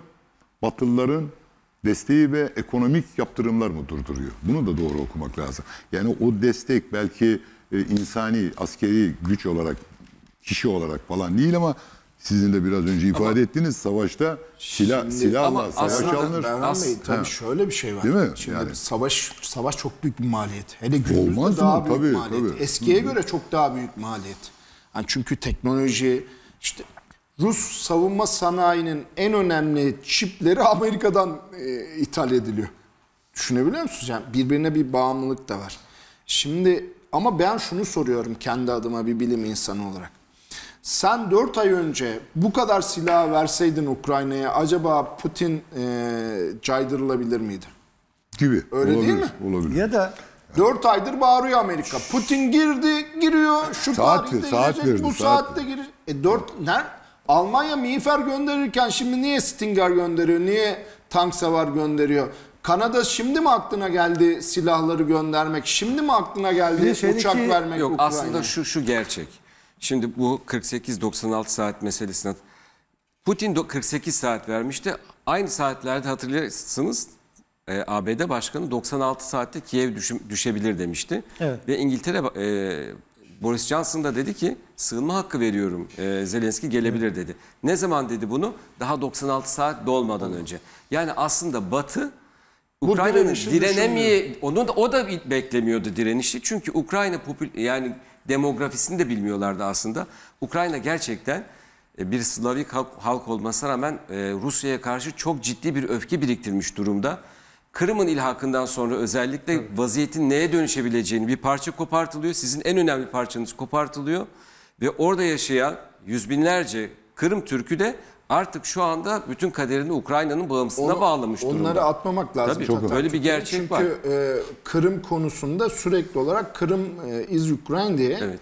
e, yani Ukrayna'ya ait olduğu konusunda Tabii. çok net e, bir e, kamuoyu da Yani yarattı. Ukrayna'da savaşan güçler, Ukrayna Sizin- için savaşan Murat güçlere affedersin baktığımızda- geçen sizin program siz, siz söylediniz ya başkasından mı duydum? Ee, Ukrayna'da bir Ukraynalı vatandaş Kırım'ı Ruslar alacağına Türkler alsaydı demiş. Yani Ha, bu, ha. bu bu şey. Bir şey daha söyleyeyim. Görünen şu yalnız. Burada büyük bir haksızlık yaptığının yani Amerika'yı yüzünü yıkamak adına e, Putin'i suçlamak adına değil. Belki de şöyle bir şey var. Ki, e, Kiev'i de alsa, Ukrayna'yı da alsa bu işte mağlup olan Putin olacak. Şu andaki Tabii. duygunun, Şimdilik duygunun o olduğunu Kesinlikle. görüyorum. Bir de E, tabii şunda Putin'in şu galiba açıklamasını unutmayın. Karadeniz'i bir Türk gölü olmaktan kurtardım cümlesinin bir daha altını çizelim. Bu çok konuşulmadı Türkiye'de. Ayrı, ayrıca bir şey daha var. Eğer böyle bir şey olursa, ya sohbetini yapıyor. Öyle bir şey olursa işte Montreux'un ve Karadeniz'de en uzun kıyısı olan Türkiye'nin niyetle gerçek arasında mesafe uzaktır. İşte o zaman Türkiye çok daha önemli hale gelecek. Yok Türkiye şu an çok, Çok önemli önemli hale halde. geldi. Ben Yani. size söyleyeyim. Veya Murat'ın dediği gibi burayı aldı. Gitti Gürcistan'ı aldı. Türkiye zaten hepimiz için taş, pırlantadır. O zaman bu ülkenin temellerini atıp bugüne kadar taşıyanların pırlantaya bakıp bazı insanların gözleri kamaştığı için pırlantayı fark etmezler. Ama gerçekten pırlanta olduğunu işte öyle fark edecekler. Şunda da mutabıkız galiba. Ee, ne kadar işgal ederse etsin e, Ukrayna'da Rusya'nın tek başına e, sürekli kalması kimsenin Mümkün beklediği bir şey değil. Şimdi Ukrayna'yı Rusya elindeki bu güçle yok edebilir mi? Edebilir. İşte gördük Harkov'da yani ilerleyecek belli.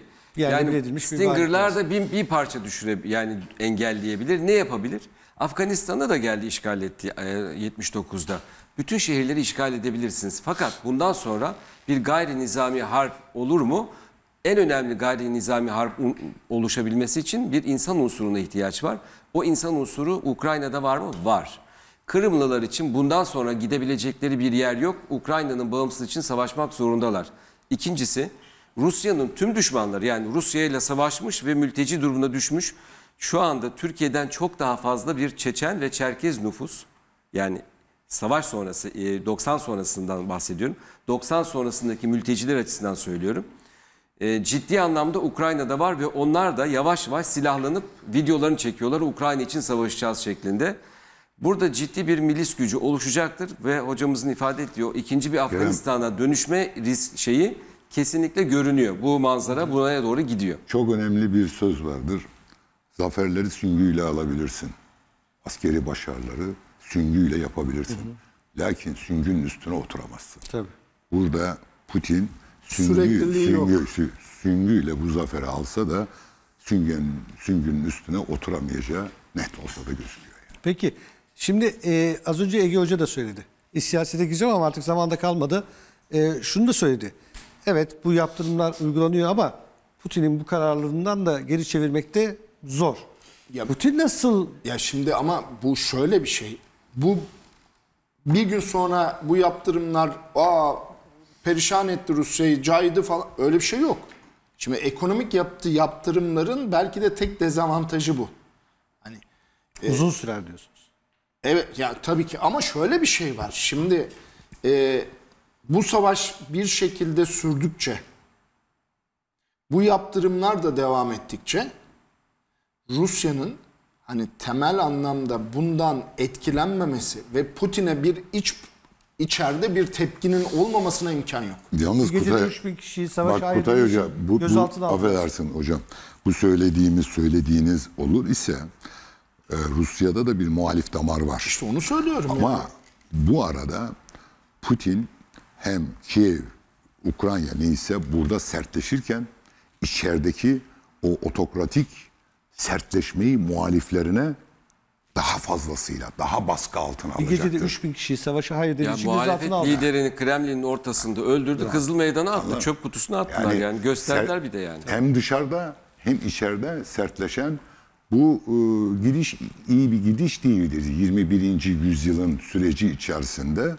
Yani e, düşünebiliyor musunuz dünyanın e, en büyük doğalgaz ihracatını yapıyor. İspanya'dan küçük bir ekonomi. Olmaz bu. Yani bunu kabul edebilmek de mümkün değil. Sanırım arkadaşlar da dile getirdi. Ukrayna Savaşı yani NATO'nun sınırı, Avrupa'nın, Doğu Avrupa'nın merkezi değil mi hocam orası? Evet. Yani bu savaştan sonra ne Orta Doğu ne Asya ne dünya önceki gibi olmayacak. Taşlar yeniden bir kez daha Kim kartlar dağıtılacak. Tam yani. hatırlamıyorum ama şöyle bir şey vardı. Ee, Ukraynalı Rusya Amerika Birleşik Devletleri gibidir. Ukraynasız Rusya Kanada gibidir. Soğuk ve yalnızca ağaçlı. yani e, kimin Türkiye'nin, önemi daha da arttı dediniz. Onu da Ha, açar mısınız? çok Şimdi çok söylemiyorum. Şimdi çok hemen söyleyeyim. Bir, İsmet bitti. İsmet'in Amerika tarafından bitirilmesinin temel nedeni Ukrayna krizi. Çünkü herkes Neden? çünkü Nabokko gibi ölü doğmuş bir projeydi. Rusya'dan aldığınız gazın 5 katı fiyatı ancak mal ediyordunuz.